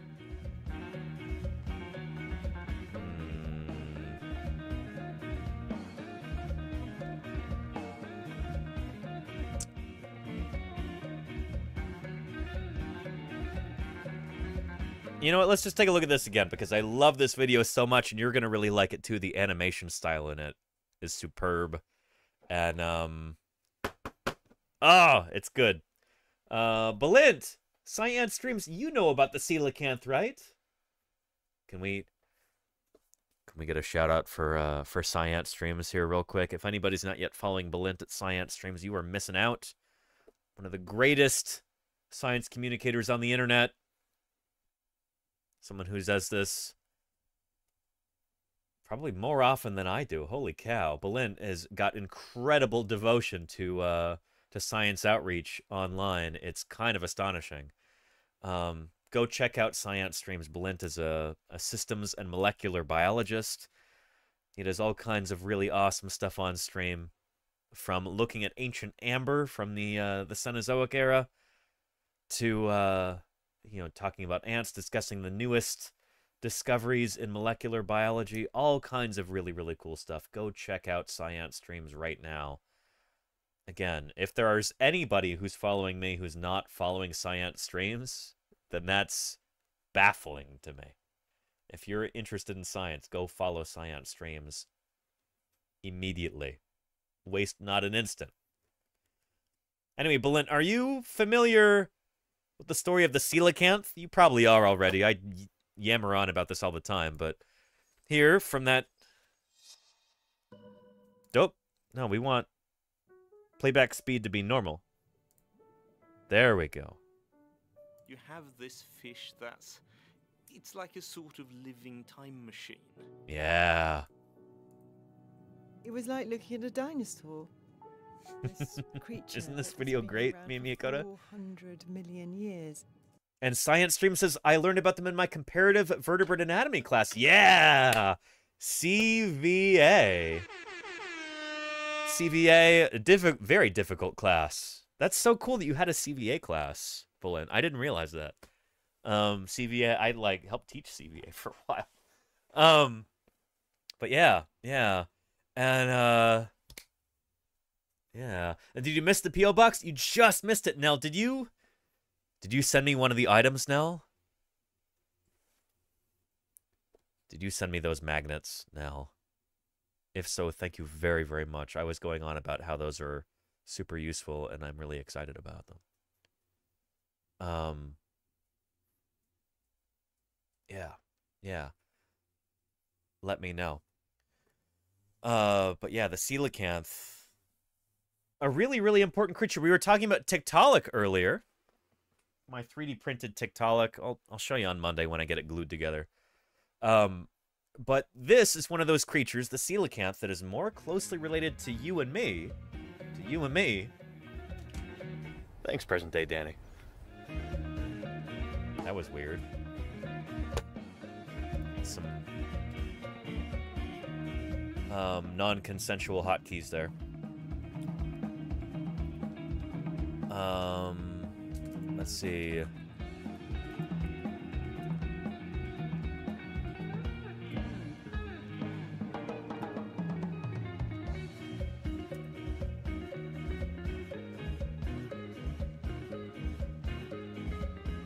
There we go.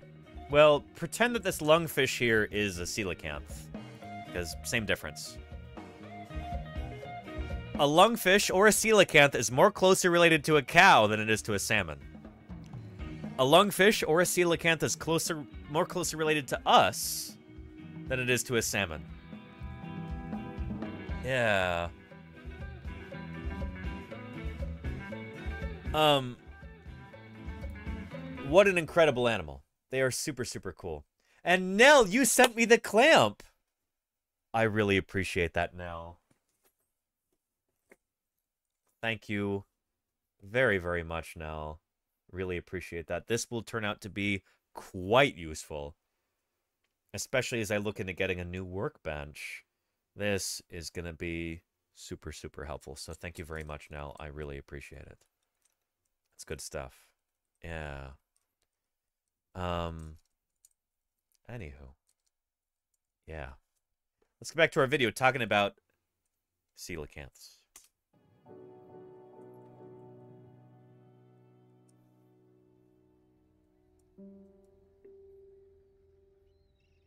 It was December the 22nd, 1938. On this. I thought it was December 23rd. Hang on. December the 22nd, 1938. Well, 22nd, 23rd, tomato, potato. Um, we'll figure it out. Maybe we'll have a stream on both days. But, uh, yeah. On this uh, hot December day, Hot December day. Of course, in the southern hemisphere, it's, uh, uh, you know, it's hot on Christmas Day. It's the middle of the summertime. Um,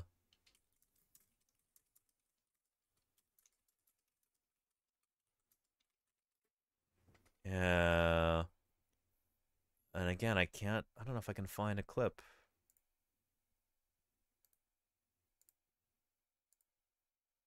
And this will be the best we can do right now. But there's a Simpsons moment here, you know? Yeah.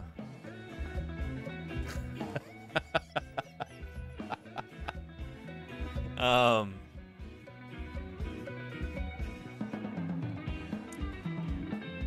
Protect your fingers because you need those to prospect for fossils. It's true, Nell. It's true. Thank you, Nell. I appreciate your concern. Yeah. Um. Anyway, it was a hot December day. 1938.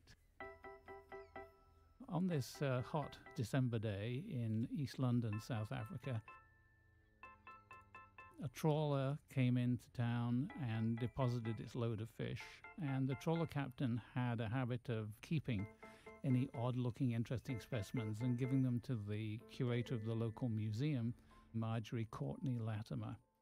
She loved nature so much and she wanted to make the museum's collections the best they possibly could be. And so she went down to the, the harbour side. She ah. describes picking through this big pile. There are three pretty big boys in front of me. Right in front. Wait, right now, young black. You're walking your dog and seeing deer and watching paleontologizing at the first place. You must be a world class multitasker. That's amazing. If I did that, I'd be running into deer, and the dog would be running around my legs like a snow speeder. You know, trying to trip up an AT-AT walker. Um, and then I'd probably accidentally put the wrong emotes into chat. I'm impressed, young black economist. Ni- nicely done. Say hi to the deer for me. Anyway, back to our video.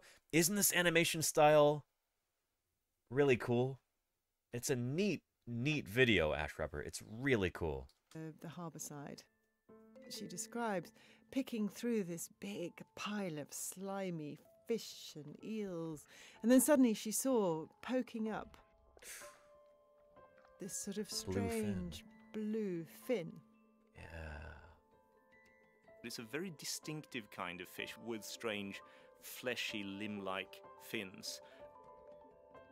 This thing was like nothing she had ever seen. She said to the chairman of the museum, I think this is something really special. He went, Oh no, little Latimer, it's just a rock cod. But she knew in her gut that it was something different. She Yep. thought, Well, I've got to find a way to preserve it. She recognized the importance of this. off on Christmas. So Marjorie Courtney Latimer is a hero for this reason. She found this incredibly bizarre fish in a fish market. She recognized that it was something strange, like sh- nothing she'd ever seen before, and she had enough faith in herself to say, "Hey, I I know what I'm talking about here. This this is weird, and I need to show someone. I need to preserve this thing." And she did, and there were all of these hurdles thrown in front of her, and she persevered. Christmas Eve in East London. She tried to get the local cold storage company to take care of it. They said, Oh, no way, go away. She tried to get a local mortuary to embalm it. They said, Oh, we can't have any stinking fish here. she said, Why? All the other people in here are dead anyway. So eventually it was given to a taxidermist. Uh, And she thought, Well, I've got to find someone to identify this fish. And she immediately. This is a rare opportunity to view the inside story of the extraordinary world of paleontologists. Venator. Who they are, what they do, why what they do is important for science and society. VData Thank you, Sam Waterston. And their 47 raiders have And stumbled thank you, into Venator CZ. world of Paleontologists. How are you doing? How was your stream? I hope it was really, really good. Welcome to the channel. It's good to have you here. Holy cow. Um, let me know if you've got any questions. We just watching a little video about the good old coelacanth, the old four legs, as it's sometimes called. Because we have got a total of five spools of 3D printer filament with which to print a big old coelacanth. And I am very, very excited about this. Because if they're removed, America loses them forever. And Zenfail, thank you for con converting that Prime sub to a Tier 1 sub. Zenfail. Zenfael. Thank you very much. I appreciate you. Thank you kindly. For everybody just waltzing in, uh, including Verator, thank you very much for the raid. We're watching a little video about the discovery of the coelacanth, this remarkable, remarkable fish. One of perhaps my favorite non-tetrapod sarcopterygian. What a cool critter. Uh, my favorite living fish, we'll say. Non-tetrapod fish. Immediately thought of Professor J.L.B. Smith. who was the only ichthyologist in South Africa. So she drew a Wow, one fish scientist in the whole country. And sent a letter.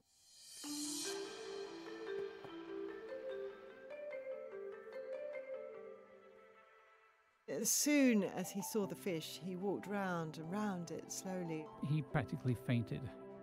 He said it was like bombs going off in my head, and I was seeing the shape of a fish. Yogurt Garo. Up some coelacanth playing Katamari last week lol. Wait, you did? They've they have coelacanths in in Katamari. Calamari Donbury? Yogurt Garrel, is that right? Is that a thing? I gotta look this up right now. Katamari coelacanth. That's a that looks like a coelacanth right there. Yeah. No joke. Yeah. Yeah, look at that. Look at that lobe fin on it. And look at that diphycercal tail. That that is a coelacanth. Very nice.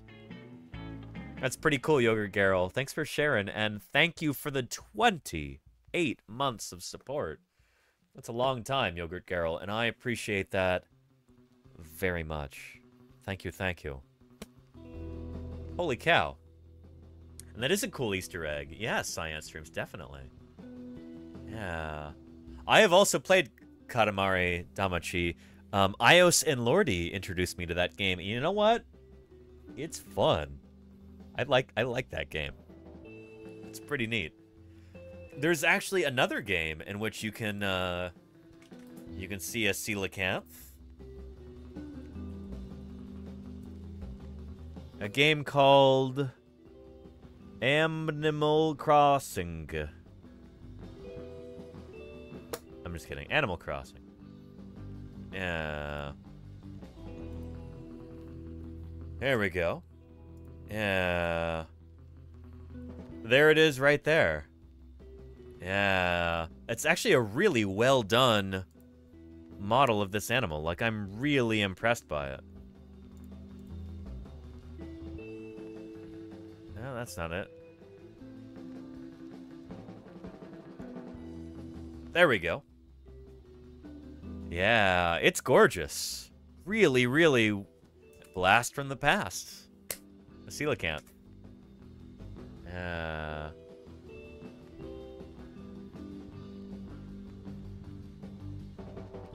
Very nice. Yeah. Anyway. The coelacanth. Let's uh let's get back to this here. Letter.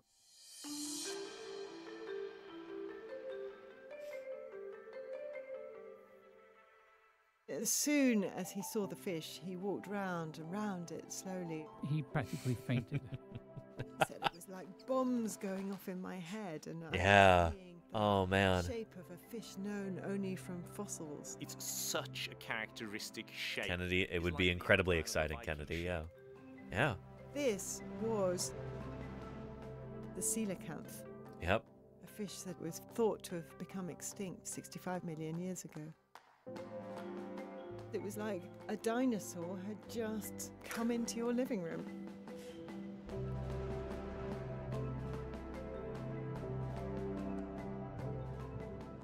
Oh, million Yogurt years Garrel. Yogurt Garrel, I appreciate you. I never want to get rid of you. You're wonderful, Yogurt Garrel. Thank you for being here. Ah, thank you for your ongoing support. These were just a bunch of fishes, very much like other kinds of fish that were around at the time. But now they are these absolute anomalies. There's nothing else like it on the planet. They had, in fact, made the discovery of the century. It was given the name Latimeria chalumnae in honor of Marjorie Courtney Latimer. Without her, the specimen wouldn't have been preserved. The key excitement was the fact that this was such an obvious living fossil. Charles Darwin came up with the term. It's sort of dumb in a way because if it's alive, it can't be a fossil. But what it means is there's an early fossil record, true. a total gap, and then there happens to be a living one. It doesn't mean that hundreds and hundreds of its relatives haven't become extinct. Oh, and by the way, the reason that this is like hourglass shaped like this, or shapely woman shaped, or whatever you want to call it, pear shaped, whatever. Like, coelacanth saw an extinction at the end of the Permian, and then they diversify a little bit again during the Mesozoic, and then seemingly in the fossil record they go extinct. They just they disappear. But then we've still got at least two species alive today but we've got zero fossil record for the entire Cenozoic era, the entire age of mammals. From the end of the age of dinosaurs until the present, no fossil record. So it's it's pretty strange. But they just became rare. Um they yeah, their numbers declined a lot right here. They expanded a bit, and then they declined seemingly down to zero here. But you know, we've still got two species swimming around today.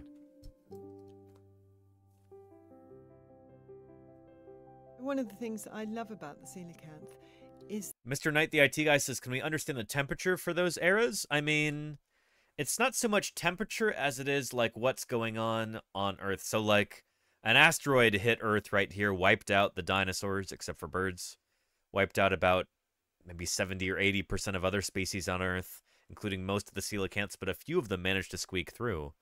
And today we have them. Yeah.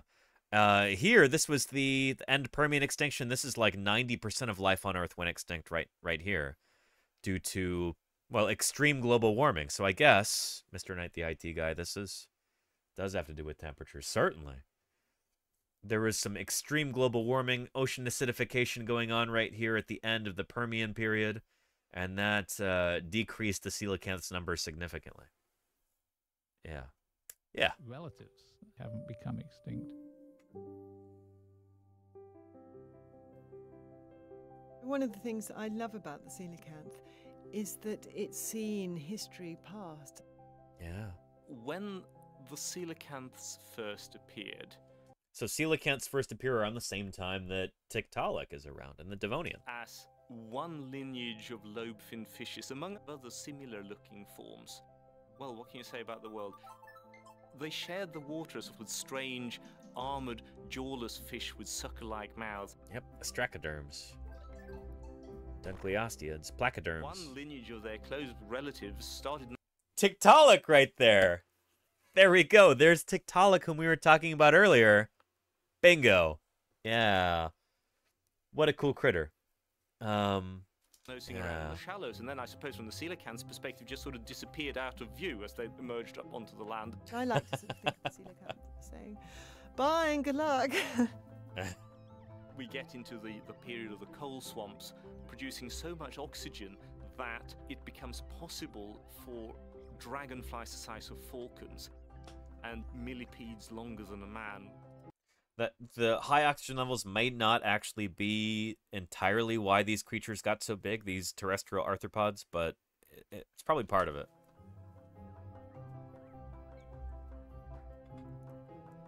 The world is suddenly struck by a gigantic mass extinction, something like 90% of all species disappear. Coelacanths sort of keep going. They've perhaps taken a bit of a knock, but there are quite a lot of them. They swim around, do the coelacanth thing. Another huge mass extinction. uh.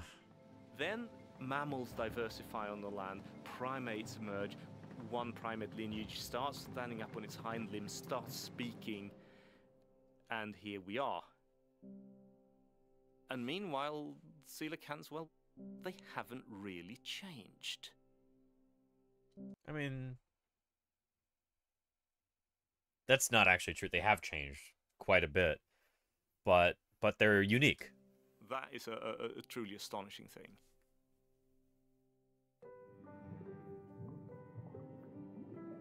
For me personally, it is just that the world should have such things in it. That it should be possible to see this kind of improbable ghostly messenger from the very deep past.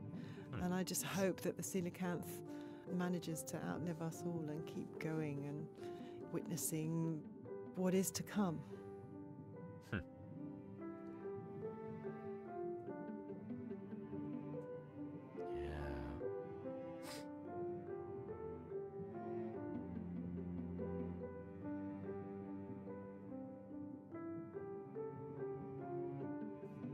Pretty cool stuff. So this is the creature that we will be printing with those five spools of 3D printer filament. Thank you again, Golganek. You know I appreciate that. Thank you very, very much. Holy moly. And uh, if you'd like to see a, uh, a video of a live coelacanth, well, shoot. There you go.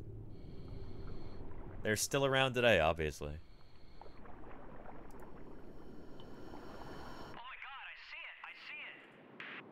So ignore the audio here.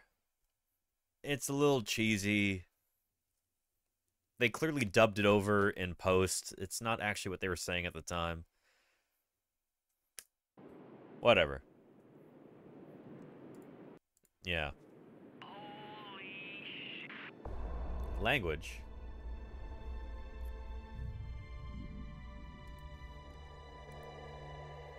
There it is. Look at this incredible animal.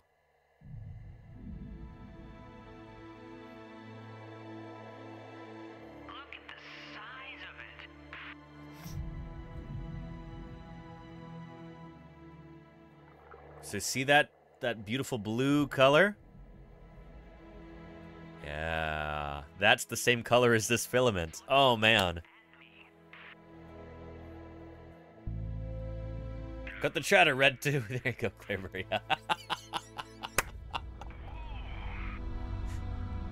uh, what a beautiful animal. Holy cow.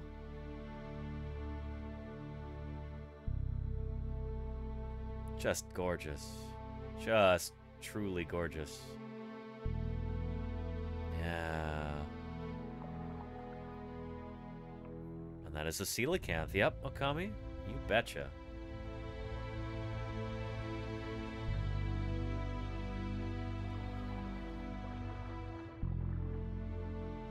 Uh, a creature very closely related to the fish that came onto land and later gave rise to dinosaurs and and to us and to every other land living vertebrate animal. Pretty incredible. Yeah. And so much maneuverability. These guys can they can like moonwalk backward through the water using their uh, their muscular fins. It's pretty incredible, Claire Burr. They can turn upside down, they can do a headstand, and they do that a lot. They do headstands for whatever reason. We're still kind of figuring that out. RCS thrusters. There you go, Claire. Yeah, yeah. Hey, Charlie's Dragon. How you doing? Welcome, welcome.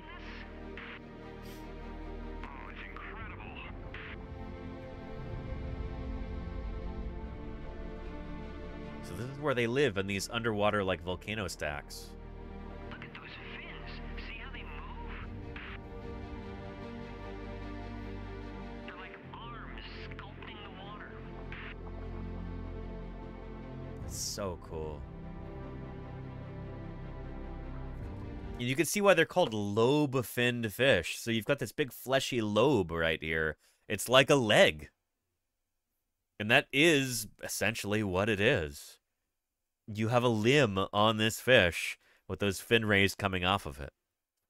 All this part is muscle in here, unlike just about any other fishes. The coelacanth's paired fins move as if it's walking through the water. Yep. Its distinct and powerful three-lobed tail is found on no other living creature. What up, baby? Give me five. Yeah, there you go.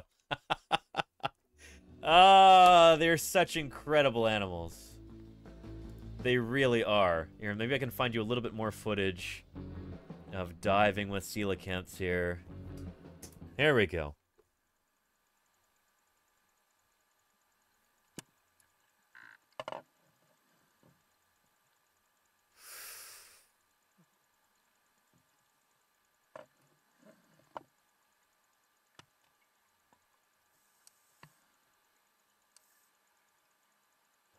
Got something down there.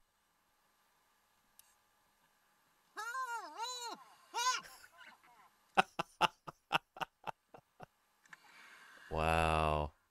Check that out.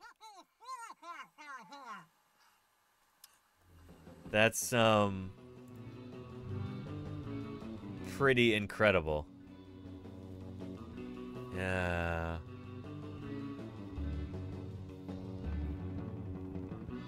Look at that.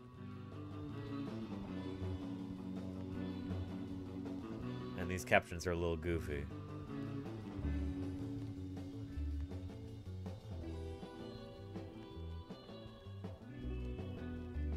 So it seems like they only exist in places where you've got like underwater volcanic uplift and you've got lots of crags and caves and crevices. They love underwater caves. And there it is. Not, you know, it's it's almost gonna do like a headstand here. Whoop. And there it goes. This is the same footage, isn't it? Yeah. Anyway. Um, very cool stuff. So I'm going to be printing one of these. It's going to be really, really lovely to have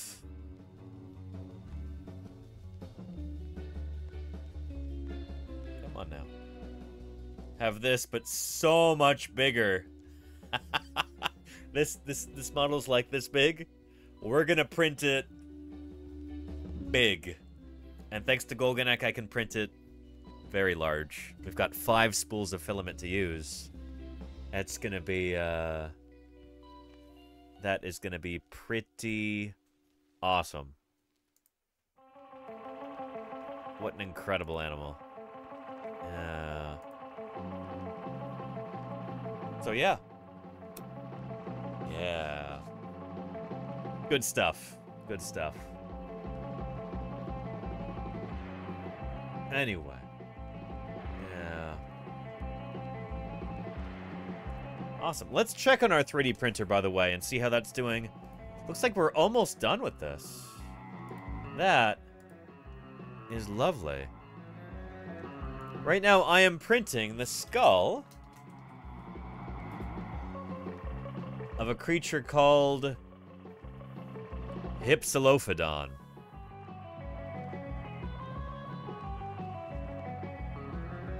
There we go. And this is what we sometimes today, uh, it's a term that I learned this summer, we call a speedo. Small-bodied, early diverging ornithischian. We used to call them hypsilophodonts. Some people still call them that. But, uh, yeah, these are small, beaky, plant-eating dinosaurs. Can you see the outline of the skull? Right here. See that lower jaw and the upper jaw? How much longer do we have on this? Let me check.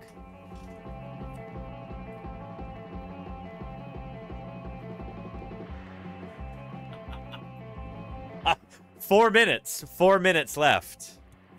Yeah, excellent. So in four short minutes, we'll be able to pull this off the print bed and uh, show it to you. Beautiful timing here. Yeah. You have to fit in your office too, not just the 3D prints. Yeah, Charlie's Dragon. I might be moving soon, actually, into a larger space. And so, might be a little bit easier to fit the 3D prints and myself into the office. Yeah. So we'll see about that.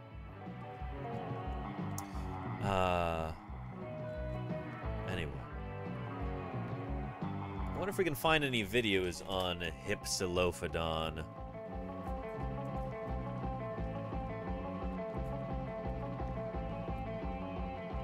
Yeah. You know, it's tricky. It's not an animal that's appeared in media very much. Um, it's an important dinosaur in the history of dinosaur paleontology, but it's really not appeared in in media very much. Apparently, it's in the game The Isle. Um, here it is. Here, this might give you some kind of mechan uh, idea of of like what it's like. Hypsilophodon blind mechanic. So it's a little beaky plant-eating dinosaur. We don't actually know if it had feathers like these, but they're showing it with feathers. Huh. That's interesting. I do not know what's going on here.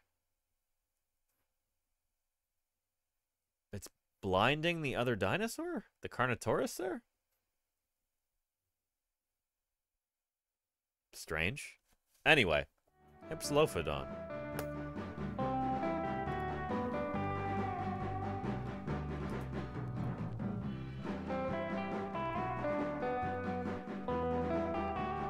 Yeah. Hypsilophodon. Little beaky plant-eating dinosaur. That's a pretty good depiction right there. They may or may not have been covered with feathers. We're not totally sure yet. Here's an old Dorling Kindersley model of it.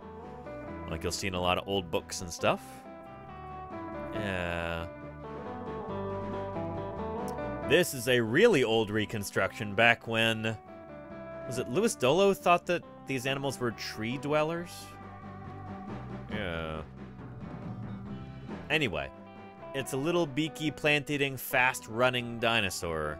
Hypsilophodon. It's a neat critter. And there's a little book right there, Hypsilophodon. Um, one of the more important dinosaurs from the UK, I would say, to the history of dinosaur paleontology. Yeah. And even in the novel Jurassic Park, the Hypsies are said to hang out in the trees. I thought those were a different taxon. Weren't they like Nanosaurus or Drinker or... Shoot, what were they in the novel Jurassic Park? That's where that idea comes from, them hanging out in trees. But, um... What were they?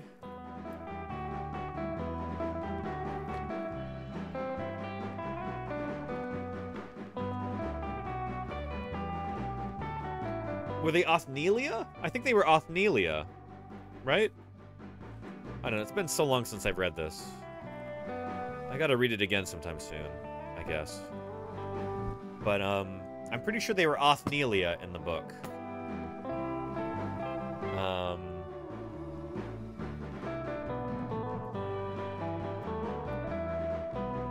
List of dinosaurs in Jurassic Park novel. Um, Carnotaurus was not in the Jurassic Park the novel. What?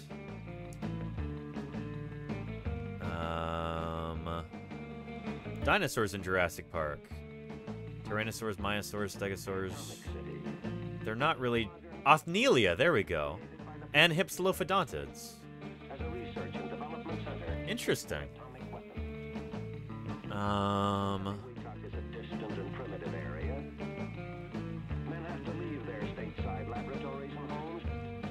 Anyway, yeah. But Hypsilophodonts, like you see here, this is a group of dinosaurs that is probably not all closely related to each other. Um, yeah. I guess maybe in Jurassic Park, the novel, they have Hypsilophodonts and Othnielia. It's interesting that Othnielia is considered separate.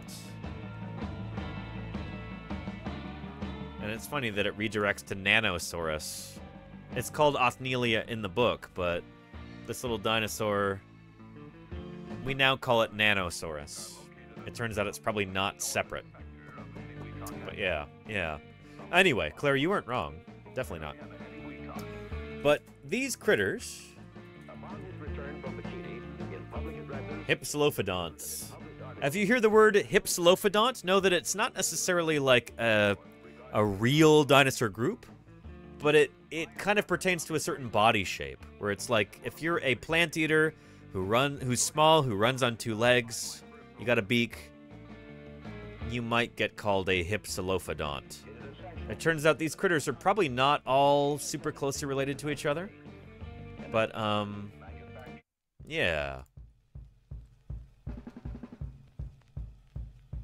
Anyway, Hypsilophodonts. They basically look like this. They're the little guys next to this Tenontosaurus. Running and springing about. Doing their thing. Hypsilophodonts. And that is the critter who has just finished printing here on the printer. Let's pull this off. Yeah.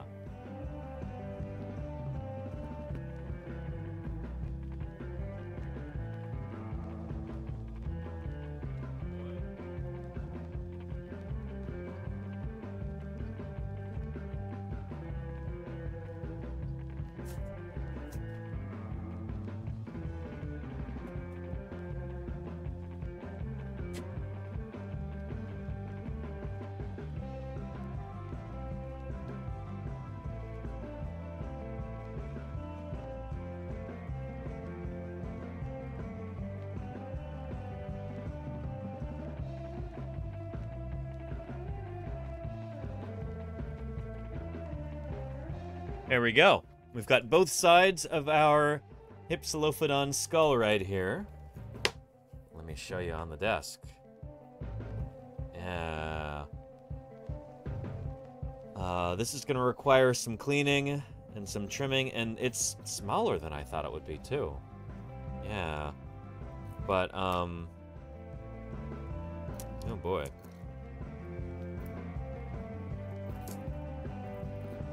Gonna take off some of the supports right now, if not all of them.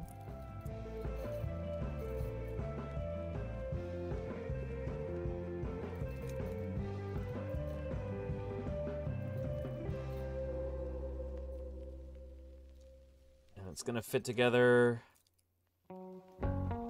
like that. We'll get those supports removed. And it's, man, this is small. Very small. I printed it the same size that was suggested in the file, but it almost it almost seems too small.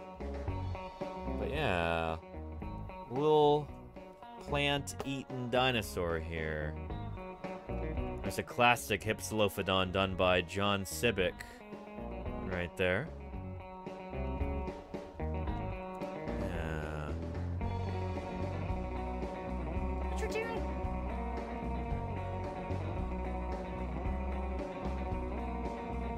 It's funny. I don't know if Hypsilophodon actually appears in like any movies or anything animated. It's not in Walking with Dinosaurs. It's not in Jurassic Park. It's not in Disney's Dinosaur. It's not really anywhere. Despite being an important dinosaur in the history of dinosaur paleontology, it's, uh... Yeah. It hasn't really gotten a lot of attention recently, which is interesting.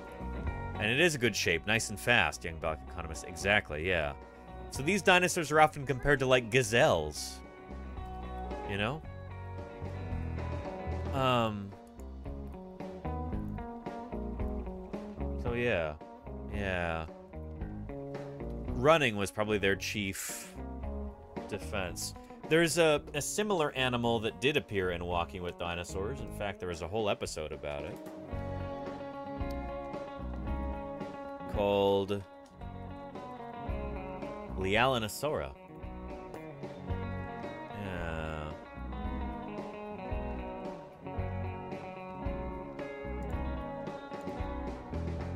Here. Take a look.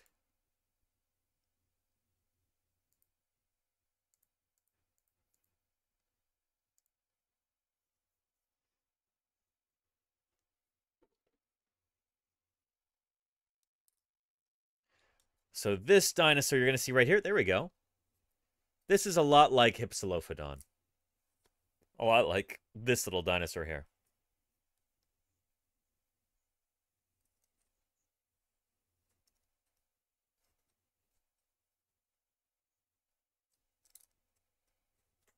Oh, there's beautiful tree ferns there, too. Yeah. This is an Australian dinosaur for any of the Australians in chat.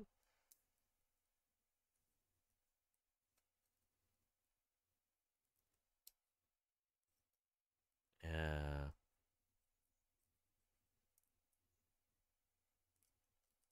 Was that a, a Dougal Dixon book? There you go, Claire. Nice.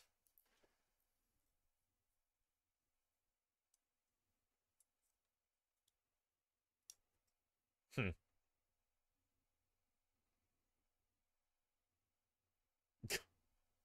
Listen to those clicks. yeah. Good stuff. Um. Anyway. Good old Hypsilophodon. There is a very similar dinosaur who has just been named.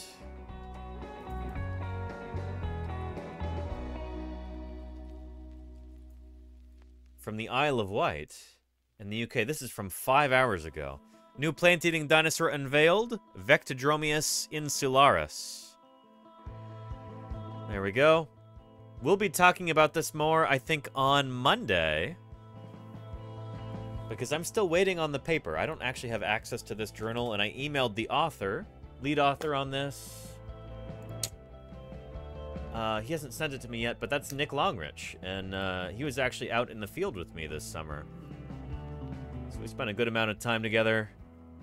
Hoping he'll send me that paper so we can do a proper deep dive on this brand new dinosaur. But it is very similar to, in fact, might be the ancestor of Hypsilophodon. So yeah. Yeah. So tune in on Monday for that. We'll be talking about it. Yeah.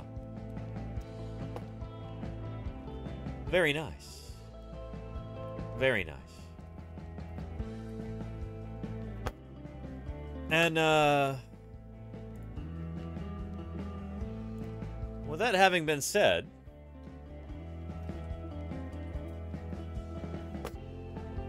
Oh, by the way, let's check on our 3D printer. We're printing a Heterodontosaurus skull right now. In two parts, just like our Hypsilophodon skull. This will be done in probably about four or five hours. So I'll be able to show that off on Monday as well. We're, we've got so many dinosaur skulls. Oh! I'm so excited. Um, it is, I'm to set aside like a whole day pretty much before stream to uh, smoothing all of these with that XTC 3D stuff, which I'm kind of running out of. I've got some on the, the wish list if anybody would... If anybody's feeling super generous about that. If anybody's feeling super generous and they, uh... They would like to, to buy some of that.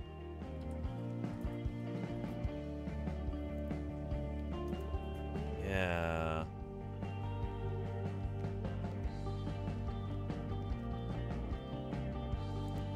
Um, here.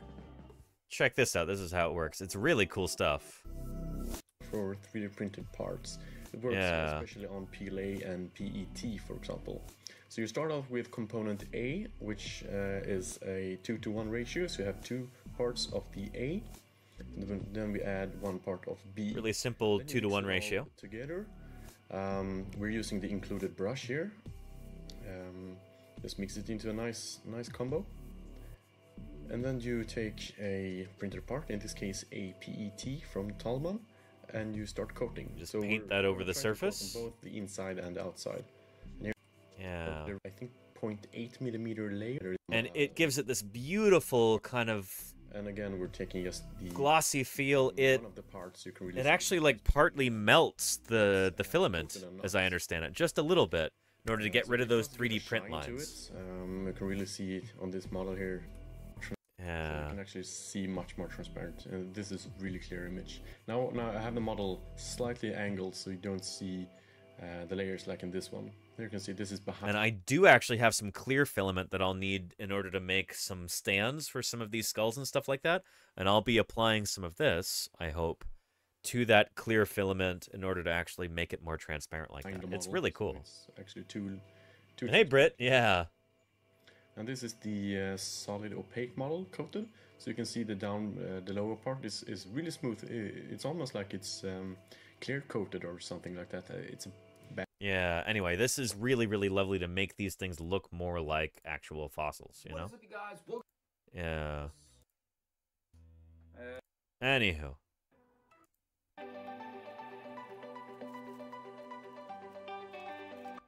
Alright, so, uh, it's been about 10 minutes since I finished the whole element. Am I seeing any effects? Like a Power Rangers mask? I am What is that? initially seeing definitely some difference. Definitely it, it looks, uh, I don't know, wet and glossy, kind of how that picture right there makes it look like. Is it the effect I'm aiming for and looking for? Iron No, Man. There you go. this Cool. 10 minutes of no sanding at all, and I've only done one coat, and it's only the top part. The inside of it needs to be done too. So I'm gonna work on that next. But Neat. before we get to that, Yeah. I'll let it cure a little bit so I can, you know, touch and all that. Balint's favorite Avenger is not the Ant Man? Kennedy? How could that be the case? Shouldn't the Ant Man be Balint's favorite Avenger? Or maybe that's maybe he's allied with Batman on the other side of the cladogram of superheroes. I don't actually my superhero phylogeny phylogenetic knowledge is is pretty much nil. I'm not sure which clade the Ant Man belongs to. Is he allied with with Batman and and Spider Man, or is he allied with Superman and and Iron Man? I don't I don't know these things. I don't know these things. You know, I maybe there are are more molecular studies out there that have been published recently. I'm not I'm not familiar with that. Yeah. Uh, Batman is DC. Oh, so he's from the East Coast, the District of Columbia. And Ant Man is Marvel. Nice. Okay. Very cool. Well, where is why? Where is is Spider Man? Where where where does he come out on the tree? You know. Um. Yeah. And do we have any appropriate music? Apparently not. Here. Let's go back up to um There we go. Yeah. Uh anyway. Spider-Man lives about five miles from me. Very cool, Kennedy.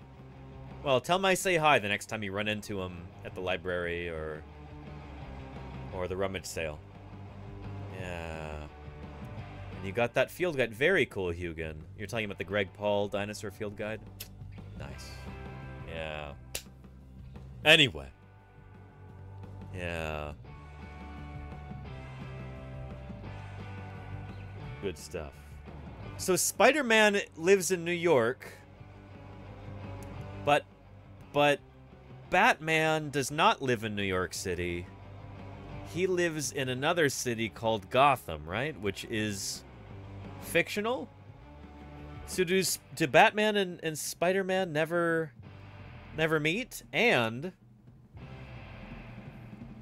If you never see Spider-Man and Batman in the same place, if they've never been photographed together, how are you sure they're not the same person? Hmm. He lives in D.C. Oh, thank you, Rizu Dago. He lives in the District of Columbia.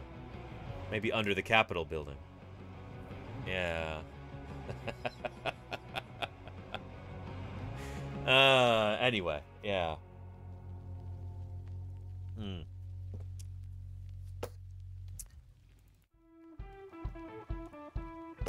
Uh, anyway, this stuff is on the wish list. Um, I'm gonna need a ton of this for all of these 3D prints, like our Allosaurus skull over here.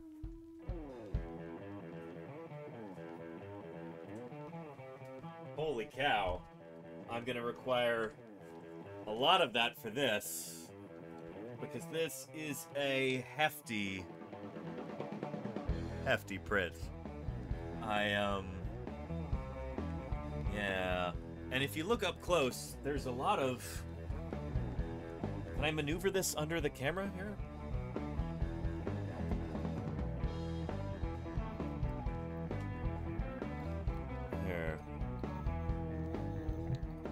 Let's look at those teeth up close, for instance. Now look right here. Right here. You see those lines right there? If I want this to be a museum quality specimen, we gotta get rid of those lines. We gotta smooth this thing up, you know? Ugh. And so you can do that a little bit through sanding, but really you need something to smooth the actual print itself if you want to really do that well. And, uh... I've used this XTC stuff before many, many times. I even have a little bit of it on here. You can actually see where it's extra shiny right here. Yeah. I wanted to shore up the uh, the joint between the upper and lower jaws right here. And so I'd put in some water putty, which is excellent stuff. I love water putty. Holy cow, that's what we would use on fossils at Museum of the Rockies to fill in cracks and stuff. And then I hit that with some XTC 3D print smoother over the top of it, and um, it went uh, it went really well. But I'm running out of it. I need to get some more. So anyway, yeah, just gonna drop this here from Blue. Lenina, what is this? Oh, so Batman and Spider-Man have met and they have a child together? What? Am I misreading this? Wow. Crazy stuff.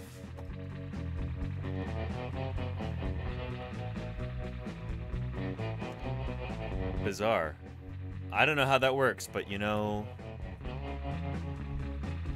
Yeah. Uh, but normally they're in two different universes.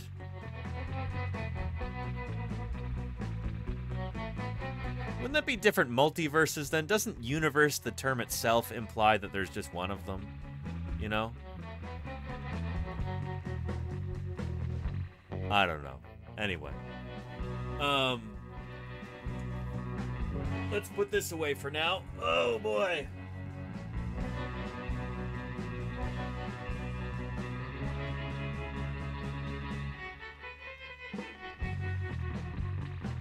Ah! There we are.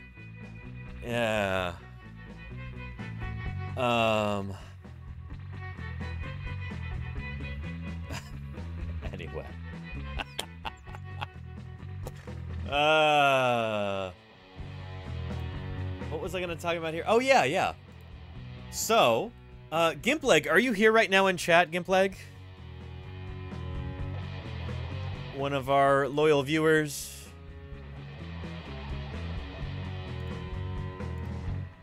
because Gimpleg shared a really cool thing with me on Twitter earlier, and uh, I'd like to show that off.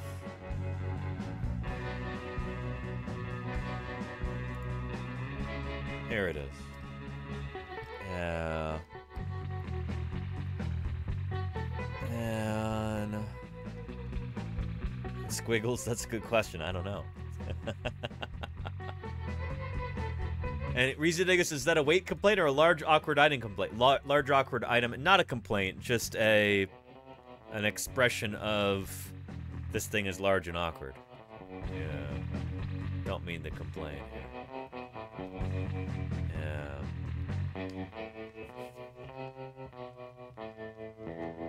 It does not appear that Gimpleg is here right now. Or else I would show off this video, but maybe we'll do that on Monday.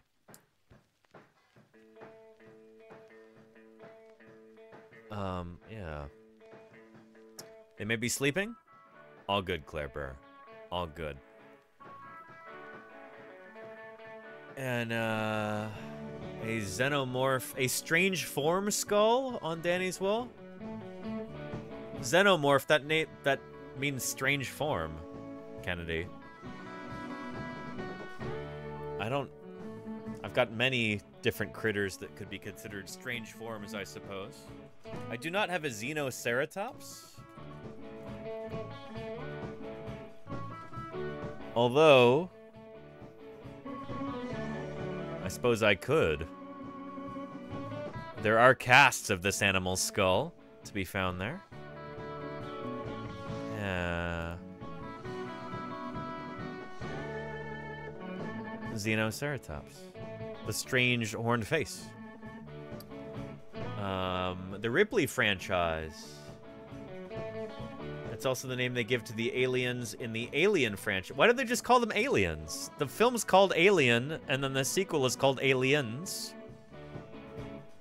And then you have Alien Resurrection, and Alien Revolutions, and Alien Redemption, and uh, Alien. I don't. I don't actually know the sequels. Um, they don't just call them aliens. I've seen I've seen the first two films. I don't remember that name, that term xenomorph from that. Are you sure that's not like just a fan thing? Alien Total Eclipse. Yeah, Alien Apocalypto. Yeah. Um Alien Recycling. Alien in the Goblet of Fire. There you go, Thalo. Yes, indeed. Alien and the Goblet of Fire. Yeah.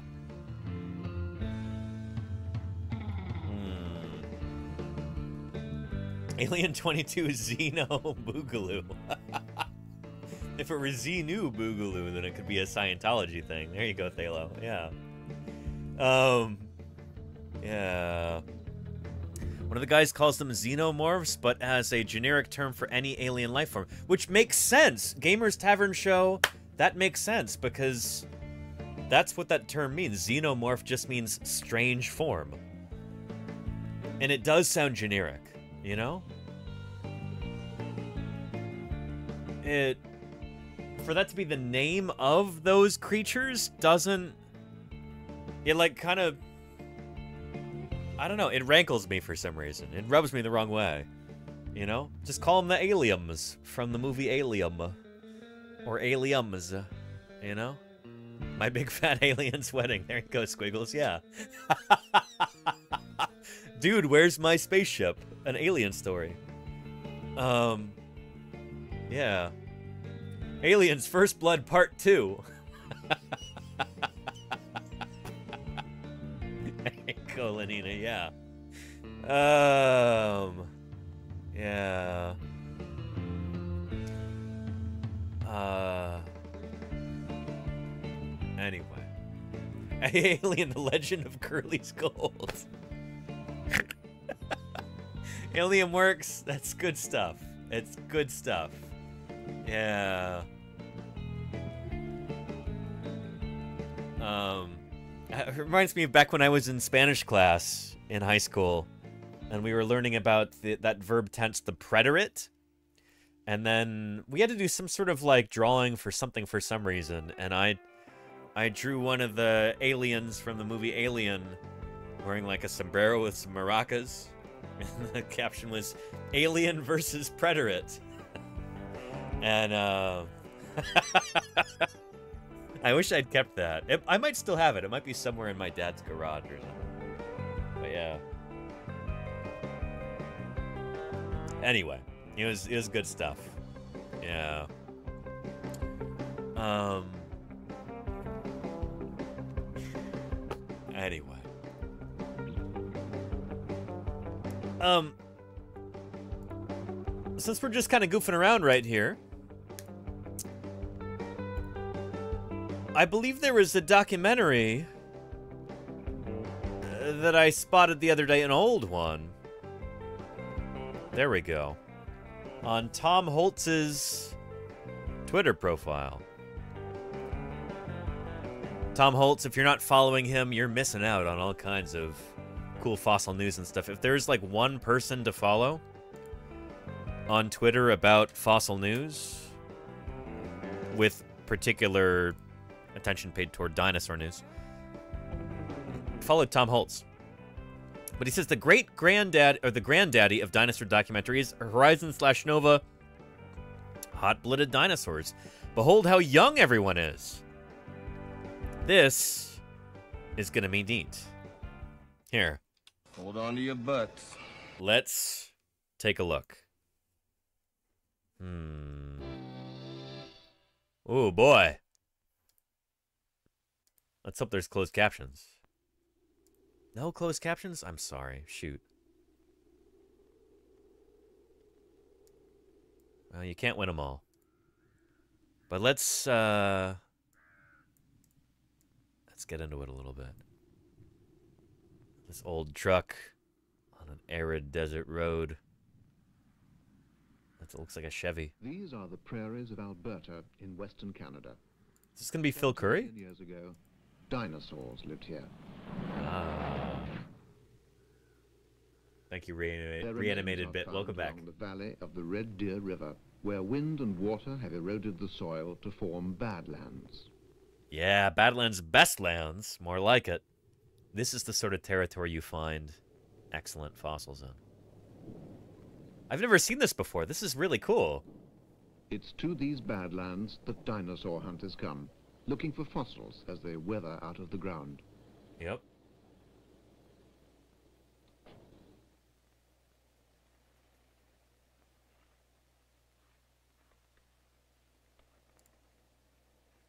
And Claire Burr says, I wonder what the ratio of folks who think Mr. Arnold meant your buttocks and those who think cigarette butt. He meant cigarette butt. I always assumed he meant, you know, your tush. Claire Burr, I've never thought about it that way before. What? Although I'm not a smoker. Um. Huh. Huh. Interesting thought, Claire Burr. Dinosaurs were the largest and most successful creatures that ever lived. They Huh. dominated the Earth for 120 million years. Trying to explain their success has always caused fierce debates. In this program, we present the views of one group of paleontologists who think they've found the reasons for it.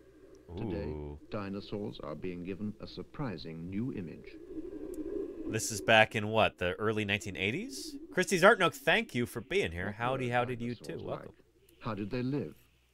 In Hollywood, at least, they thought they had the answers. Hmm. Agathaumas. This is from 1925. This is an old one here. Holy cow. Yeah.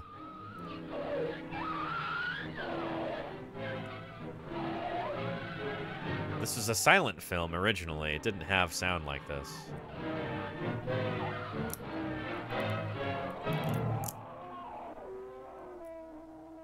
Passing pterosaur? Ugh! Get wrecked, pterosaur. Names has always been difficult. Stegosaurus, a plant eater. gigantic brontosaurs, the largest dinosaurs of all. Oh boy. You remember watching this as a kid, Fairy Willow? Wow. I've never seen this before. This is the first I've ever seen it. That's pretty cool. Iguanodon, one of the first discovered. 1977? It makes sense, Kennedy. Yeah. Rex.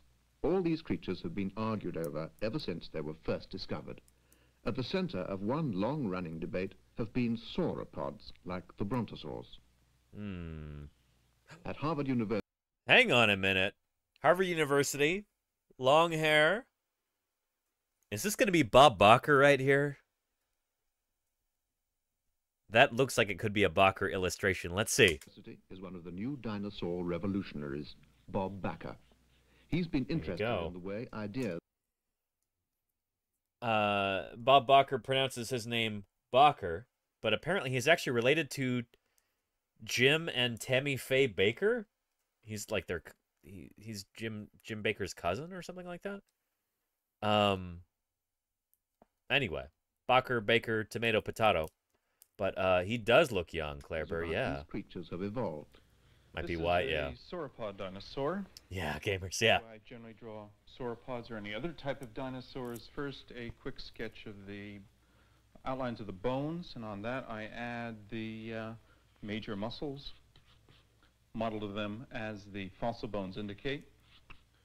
And you can make uh, quite an accurate model of a dinosaur or any other fossil animal because the size and shape of the muscles is indicated by the marks on the bones.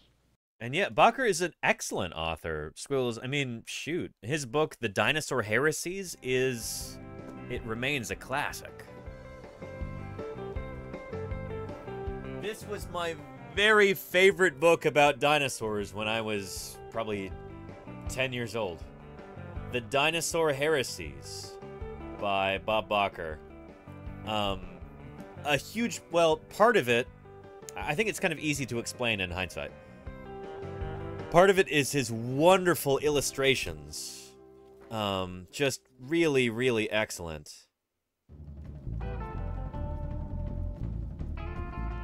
Me see if I can find some dinosaurs in action here. Yeah, there we go. There's a bunch of ornithischian dinosaurs all eaten there. He's a, he's a brilliant artist. Like really excellent. Yeah. There's Nanosaurus pursuing a lizard, presumably to try and eat that lizard. Yeah. Which these animals, maybe they ate small vertebrates too. We're not totally sure. But anyway, um, yeah. Part of it is his, uh,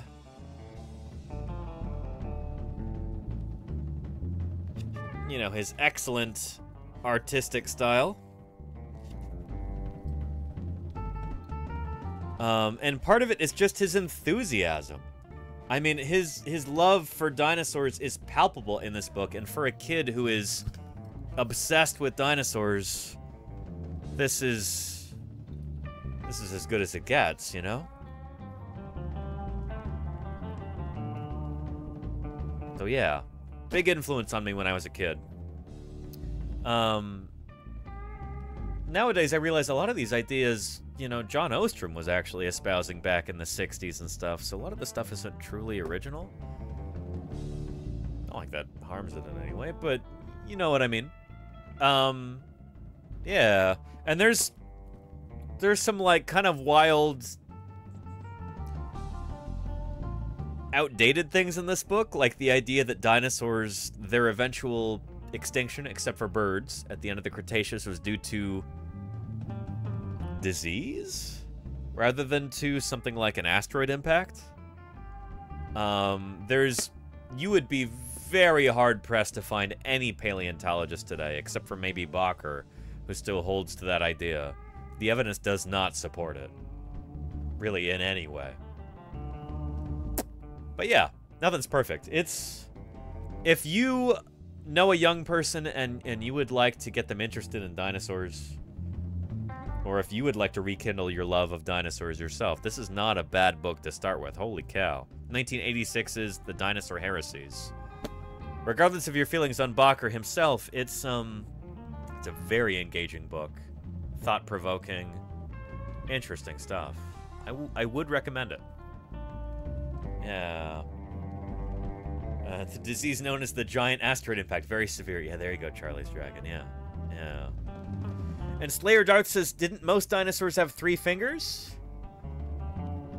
Um, it, mm, I wouldn't say most. Dinosaurs had There are some dinosaurs that had five fingers on each hand. That's the one. That's how many they started off with was five. It seems.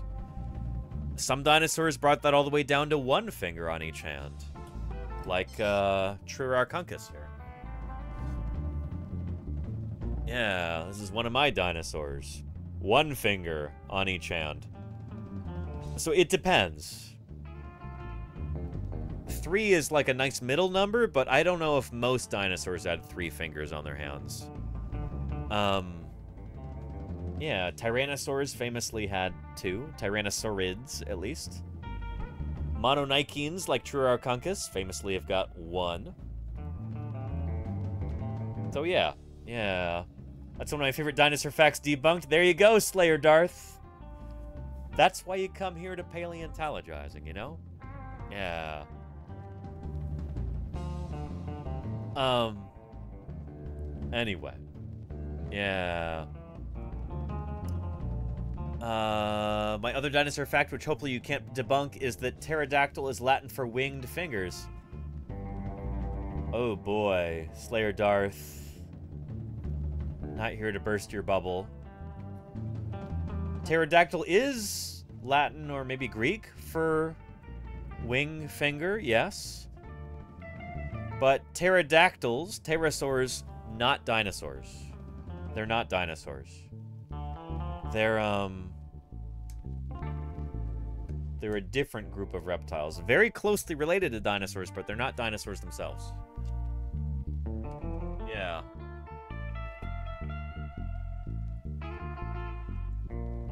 Um, here, let me show you. So, what is and is not a dinosaur? What is a dinosaur and what isn't? There we go. So dinosaurs start here. Everything that evolves from this ancestor, everything on the tree up from this point is a dinosaur. Pterosaurs. Your flying reptiles like this pteranodon. Pterodactyls, not dinosaurs. Yeah. Slayer Darth says, You've just ruined my childhood? No, I haven't. Don't be melodramatic. Pterosaurs are still incredibly cool animals. They're just not dinosaurs.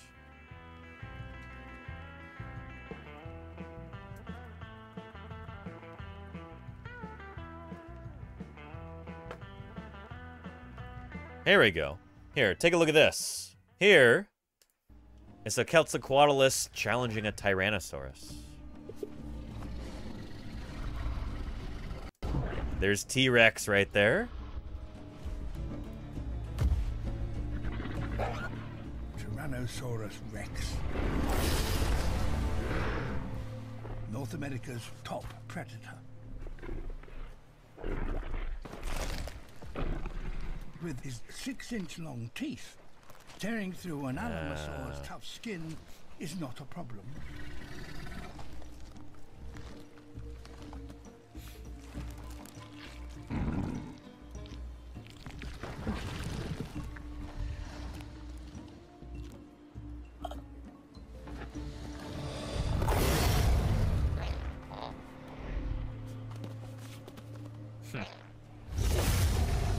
Get lost, little troodontid.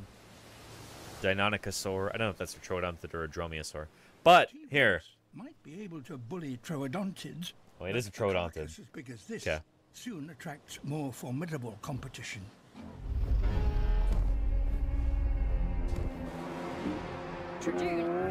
Here are your pterosaurs. Quetzalcoatlus, a giant pterosaur. Yeah. Not a dinosaur, but a pterosaur.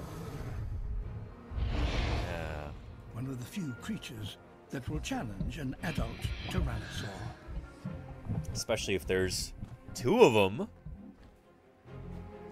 Two, two Quetzalcoatlus, not two Tyrannosaurs.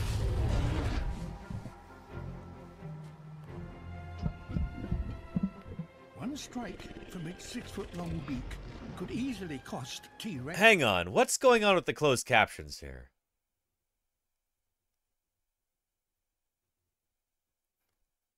What was this?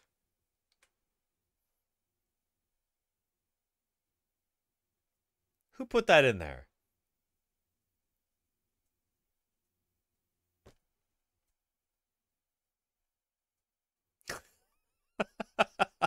you know, you know, hearing impaired people rely on these closed captions. They they should be as authentic as possible. Uh is that right, Claiber? Okay. Huh. One strike from its six foot long beak could easily cost T Rex an eye.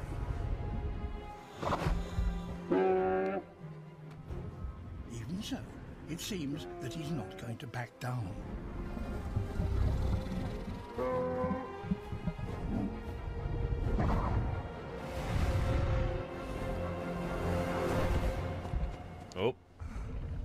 The arrival of a second Quetzalcoatlus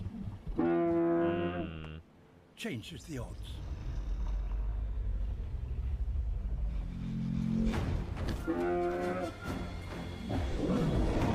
All right, all right. Goodness. I guess we can't watch this because somebody decided to mess with the closed captions. But anyway, check out Prehistoric Planet 2 if you'd like to figure out how this goes down. You know? Yeah. Anyway, uh, pterosaurs, not actually dinosaurs. They're uh, they're close relatives of the dinosaurs, very close relatives, but not dinosaurs themselves.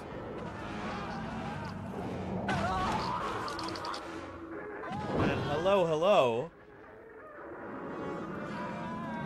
Travis Tavern Society and their 15 raiders are about to get flattened by dinosaur content. Travis Tavern Society, how are you doing? Welcome to Paleontologizing. Thank you for the raid. How did your stream go? It's great to have you here. Welcome to Paleontologizing. My name is Danny Anduza. I'm a dinosaur paleontologist here on Twitch doing some good old-fashioned science outreach and um appreciate you bringing your viewers here. Let me know if you've got any questions, huh? Yeah. Element Eds, how are you doing? Welcome, welcome. It's a pub crawl with a mustachioed novelist and voice actor Travis. And the Tavern Society, a crowd of cool cats. And the next round is on us. Cheers, Element Eds. Appreciate that. Um, thank you, thank you. Hmm. Yeah, pterosaurs are a whole group name, Calamity now. Yes, that is true. Um, you know, now might be a, a wonderful opportunity to uh to call forth a friend of ours to introduce these new folks to the channel. Tell them what paleontologizing is all about. Shall we call forth previously recorded Danny? I think that's a good idea. Um again, Travis Tavern, thank you so much. Stream went well. Did some editing on the last book. Wrote a couple thousand words on the next book. Excellent. How close are you to finishing it? I'm sure you get that question all the time. Sorry. But I'm excited for you. That's really cool, Travis. Thank you. Thank you for the raid. We're going to call forth a friend of ours to introduce you to the channel, tell you what this what this whole thing is all about. So without further ado, um previously recorded, Danny. Why don't you uh show these new folks what we're all about here. Well, thanks, present day Danny. Well, if you happen to be new around here, then welcome to Paleontologizing. You may well be wondering to yourself, uh, well, if this is Twitch, then where are the video games? I'm gonna level with you here. I don't really do much in the way of video games. I'm a paleontologist. My name is Danny Anduza, and dinosaurs are my area of study.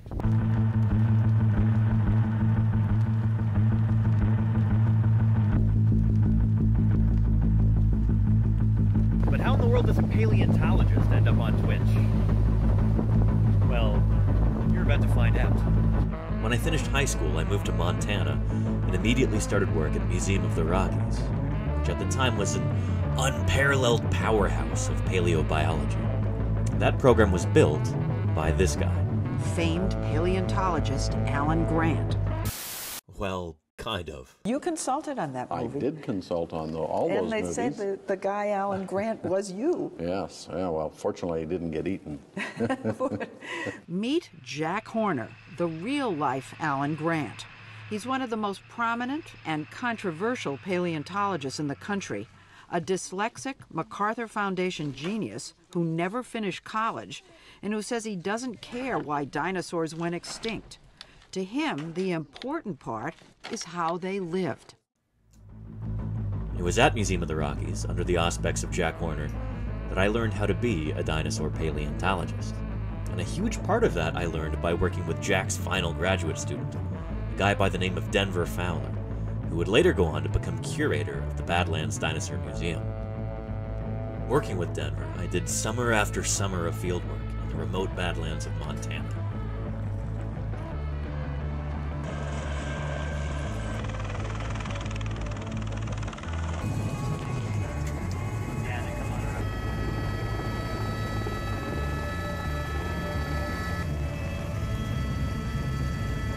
Together, we dug up more dinosaurs than we knew what to do with, at fossil sites numbering in the hundreds.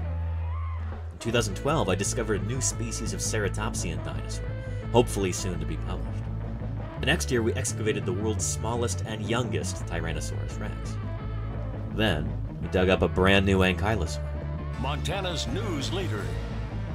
Five paleontologists are excavating what looks to likely be a new species of armored dinosaur. So we found its head, and we found parts of its armor and plates, and so it, it should be a new species.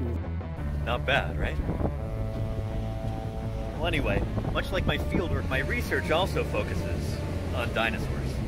For example, here's Trierarchuncus, the last of the Alvarezsaurs, just published in July of 2020. One of my current projects focuses on Spinosaurids. Can't really talk too much about that until it's a little bit closer to publication, so uh, stay tuned for that. Anyway, let's get back to how I ended up on Twitch. A couple years ago, things in Montana were declining rapidly, so I picked up and moved on to greener pastures. I'm so glad I did. And with that new perspective, I also realized that I have very little patience with the soul crushing bureaucracy within academia. So, for the time being anyway, I decided to take my career in a slightly different direction. I got hired for a job in early childhood education. As a teacher, I get to have a positive impact on kids' lives and help them find a passion for science. Then, when COVID 19 showed up, the school had to close. But that didn't stop the teaching or the learning. We just moved online. All right, friends. So we're going to be looking at a book in a little bit, but I thought we'd start off with a song. At three, two, two, one. Oh, give me a home where the hadrosaurs roamed, where triceratops bellowed and grazed, where erosion uncovers bones we seek to discover, for to strike the whole world amazed. Home, home oh, on the range, where the deer is enter the play. where seldom is heard a discouraging word, and the skies are not cloudy all day. It was a pretty easy jump from teaching online to streaming on Twitch.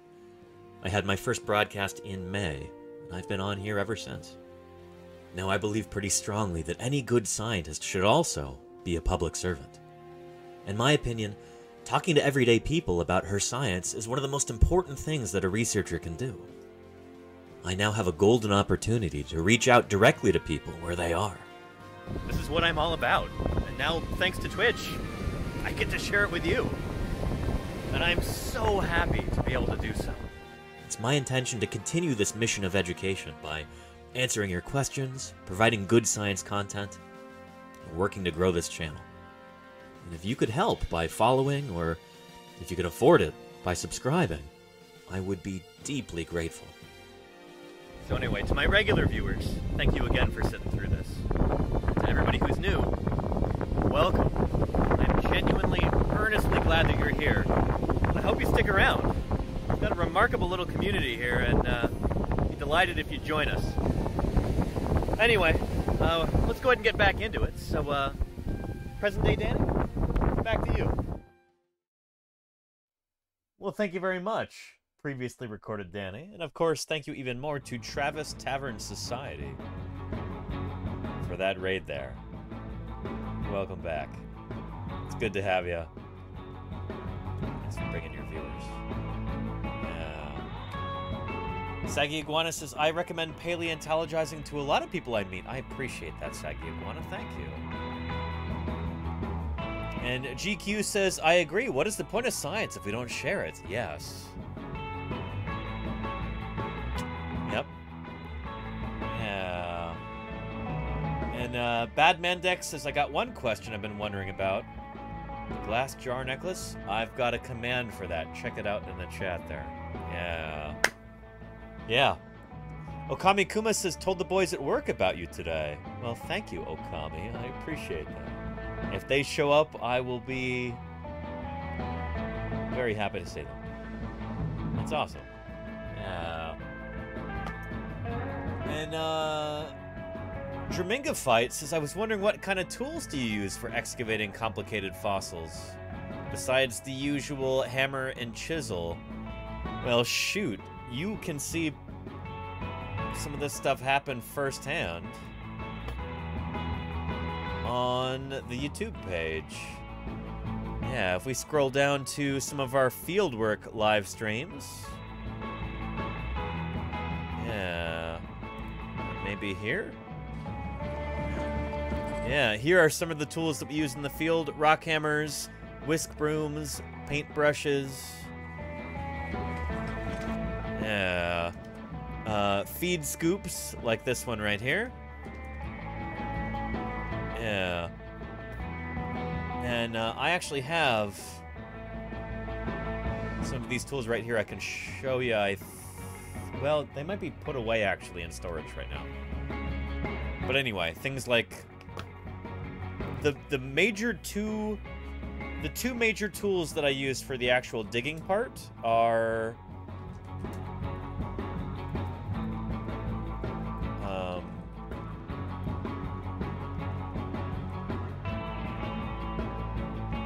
are these a scratch awl like that.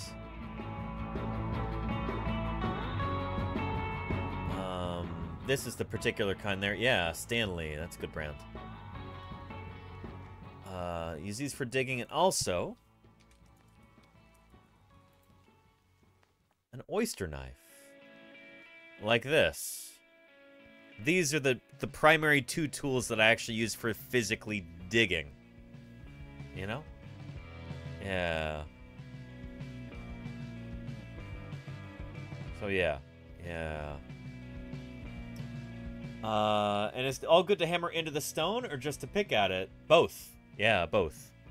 If you can get an awl that has a metal, like, I don't know if it's called a pawling or what, but uh, a metal, it's got metal on the top, the part that you actually hammer onto, that's ideal. Because if you just have a wooden one... Serious game of paleontology. Conquest Publishing, thank you for the follow. Welcome, welcome. It's good to have you here. Yeah, if you get one that's just wood, uh, that wood will crack when you're hammering it after too long. You want one that, um... Yeah. Um... Is it called pawling? What's it called? Maybe. See, this one just has wood on the end. You don't want that, if you can help it. You want one that actually has a metal top to it. And unfortunately, those are really hard to find nowadays. I've not been able to find them anywhere online. I don't know if anybody makes them anymore like that. If we have any any carpenters or people who know a thing or two about tools, if you know what that's called, I would love to hear that so that I can find these more easily in the future. But yeah, it's a metal part over the top. For when you strike it with the hammer, it's got a metal little shielding thing on it. Yeah. Medium rock hammer. Oh, very nice. Uh, Jerminga fight. Very nice. That's a good starter set of tools. Yeah. Pimpcat says, I think in Jurassic Park they were soaking fossils in vinegar. I do not remember that, Pimpcat. Yeah. Um, vinegar, you can use it on certain fossils to like dissolve away some of the sediment, but it vinegar is acetic acid, and it you got to be careful with it because a it stinks, like it it smells, make everything smell like Easter eggs. Uh, and uh, and B, like it can actually dissolve away the fossils themselves too. So yeah, you got to be careful with acetic acid. Um, Rizudego says that tool is an awl. I know what, I know what an awl is, Rizudego. But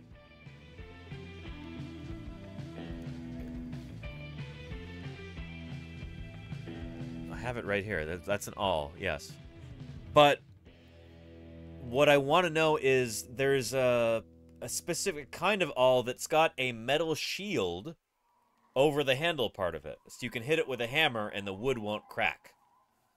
It's like metal that goes all the way down the like through to the you know, the metal tip. And I don't know what that's called. Metal pawling or metal Oh, strike. Oh. Thank you. Risu Dago. Let's let's let's try that. Metal Strike. There we go. Yes! Oh, I appreciate you, Rizu Dego. Thank you, thank you. Good stuff. Good stuff. Shoot, can I find these on Amazon, perhaps? Um... Uh,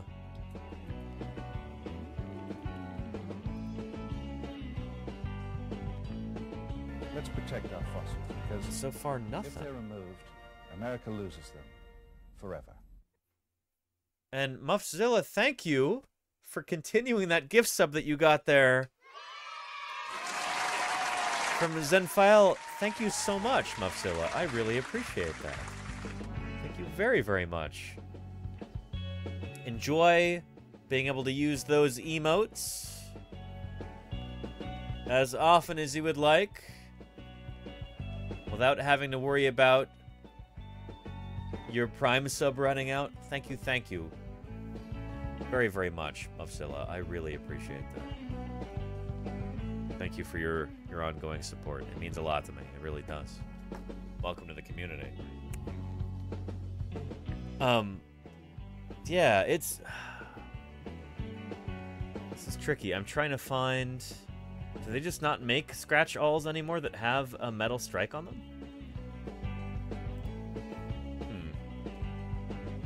Anyway, that is is basically what I need right there with that metal strike. Yeah.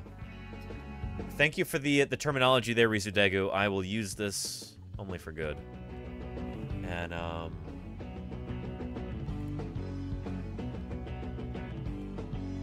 Well, there you go. Yeah, that's good stuff there, Claire Burr. Excellent. Demolition scratch awl. Thank you, GQ. Let me let me search for that too. Um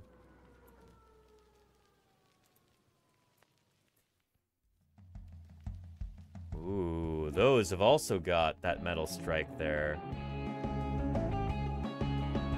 Nice. Yes. Thank you. I will be adding some more things to the wish list.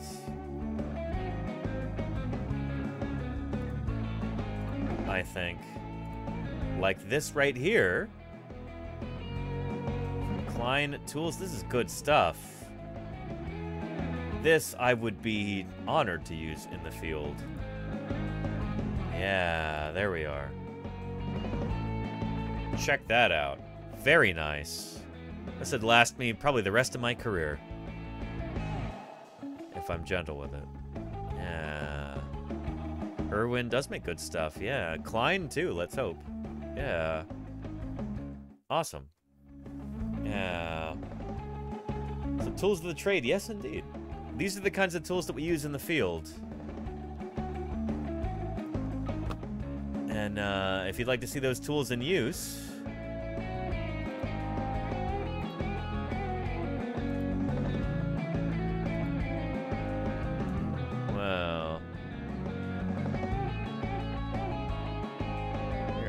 walking around here, I guess.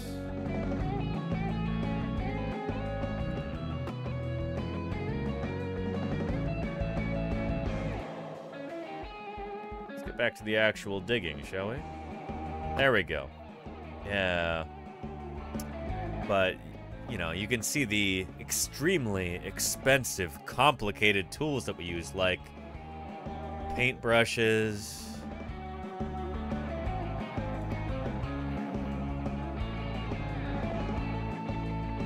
Awls, plastic feed scoops, etc. Yeah. Here. Let's get some audio here. That's in your way. Don't worry. The bones will There's Fisher right there. Ethan behind me. Plenty to do over here. Yeah. Got a couple new bones. Ooh, let's check them out. They're not particularly impressive, but. Gotta watch here, where I put my hands. This one here looks like a rib. Yeah, that's very, you very see the, the tip there is missing. That's because it's stuck in the rock. Ah, So right, we we remove little chunks of rock, at Mhm. one piece at a time, and hopefully the rock separates from the bone pretty evenly. And this time it did pretty well, except for just this one little corner. So we'll have to glue this corner back on. But other than that, the whole rib thing looks like it's there. Nice, very nice. Kind of a weird rib, maybe a cervical rib or something. I mean, you'd agree it's a rib, right? That totally looks like a rib head. I don't know what else it would But be. it's it's a Unless it's a skull bone. But if you look at how different a it little thick for how different it is from uh, Yeah. Justin's rib over there, right? Huh. Like a different part of the body, maybe. It's a Yeah. Maybe it's a cranial bone that looks like a rib. Anyway, good stuff. This was a ton of fun being able to stream from the field this past summer. And, uh. I guess I could talk about this really briefly. But, um. I've been in contact with another member of the Society of Vertebrate Paleontology, which is our, um. Our professional organization for vertebrate paleontologists around the world.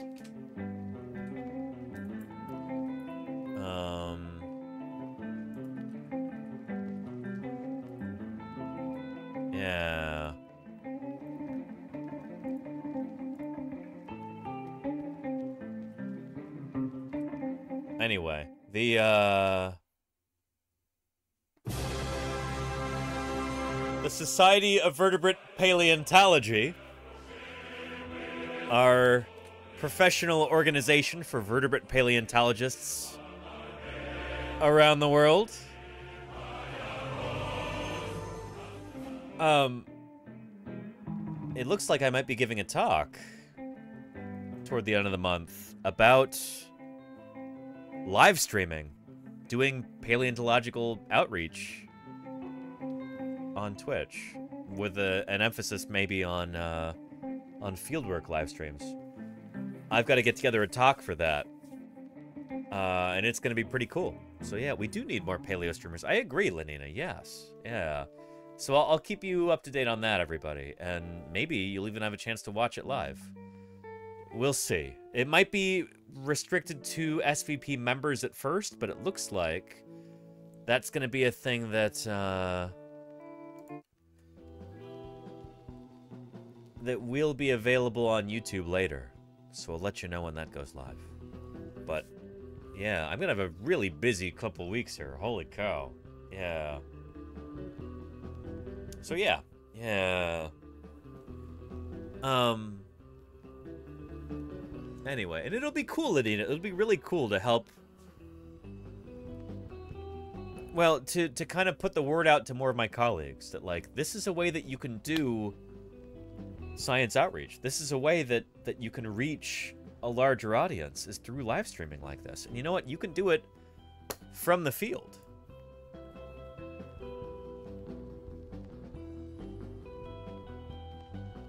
You can broadcast live even while out in the field here. Kind of near the town of Moab. And uh We've got a quarry over there where we're digging up the bones of what's probably a new iguanodontian dinosaur. Probably. We'll see. Time will tell. And uh, we've got a bunch of kind of mystery bones that have started to emerge today. So I'll show you some of those, and you'll get to watch us work, ask whatever questions you want. all that good stuff. That's what uh, paleontologizing is all about, you know? Yeah. But yeah, that's one of the things I got to do this weekend to start start brainstorming ideas for this talk. How do I create an engaging little presentation and get across the idea that live streaming is it is one of the best ways to do science outreach. How do I get these ideas across in a presentation for my colleagues?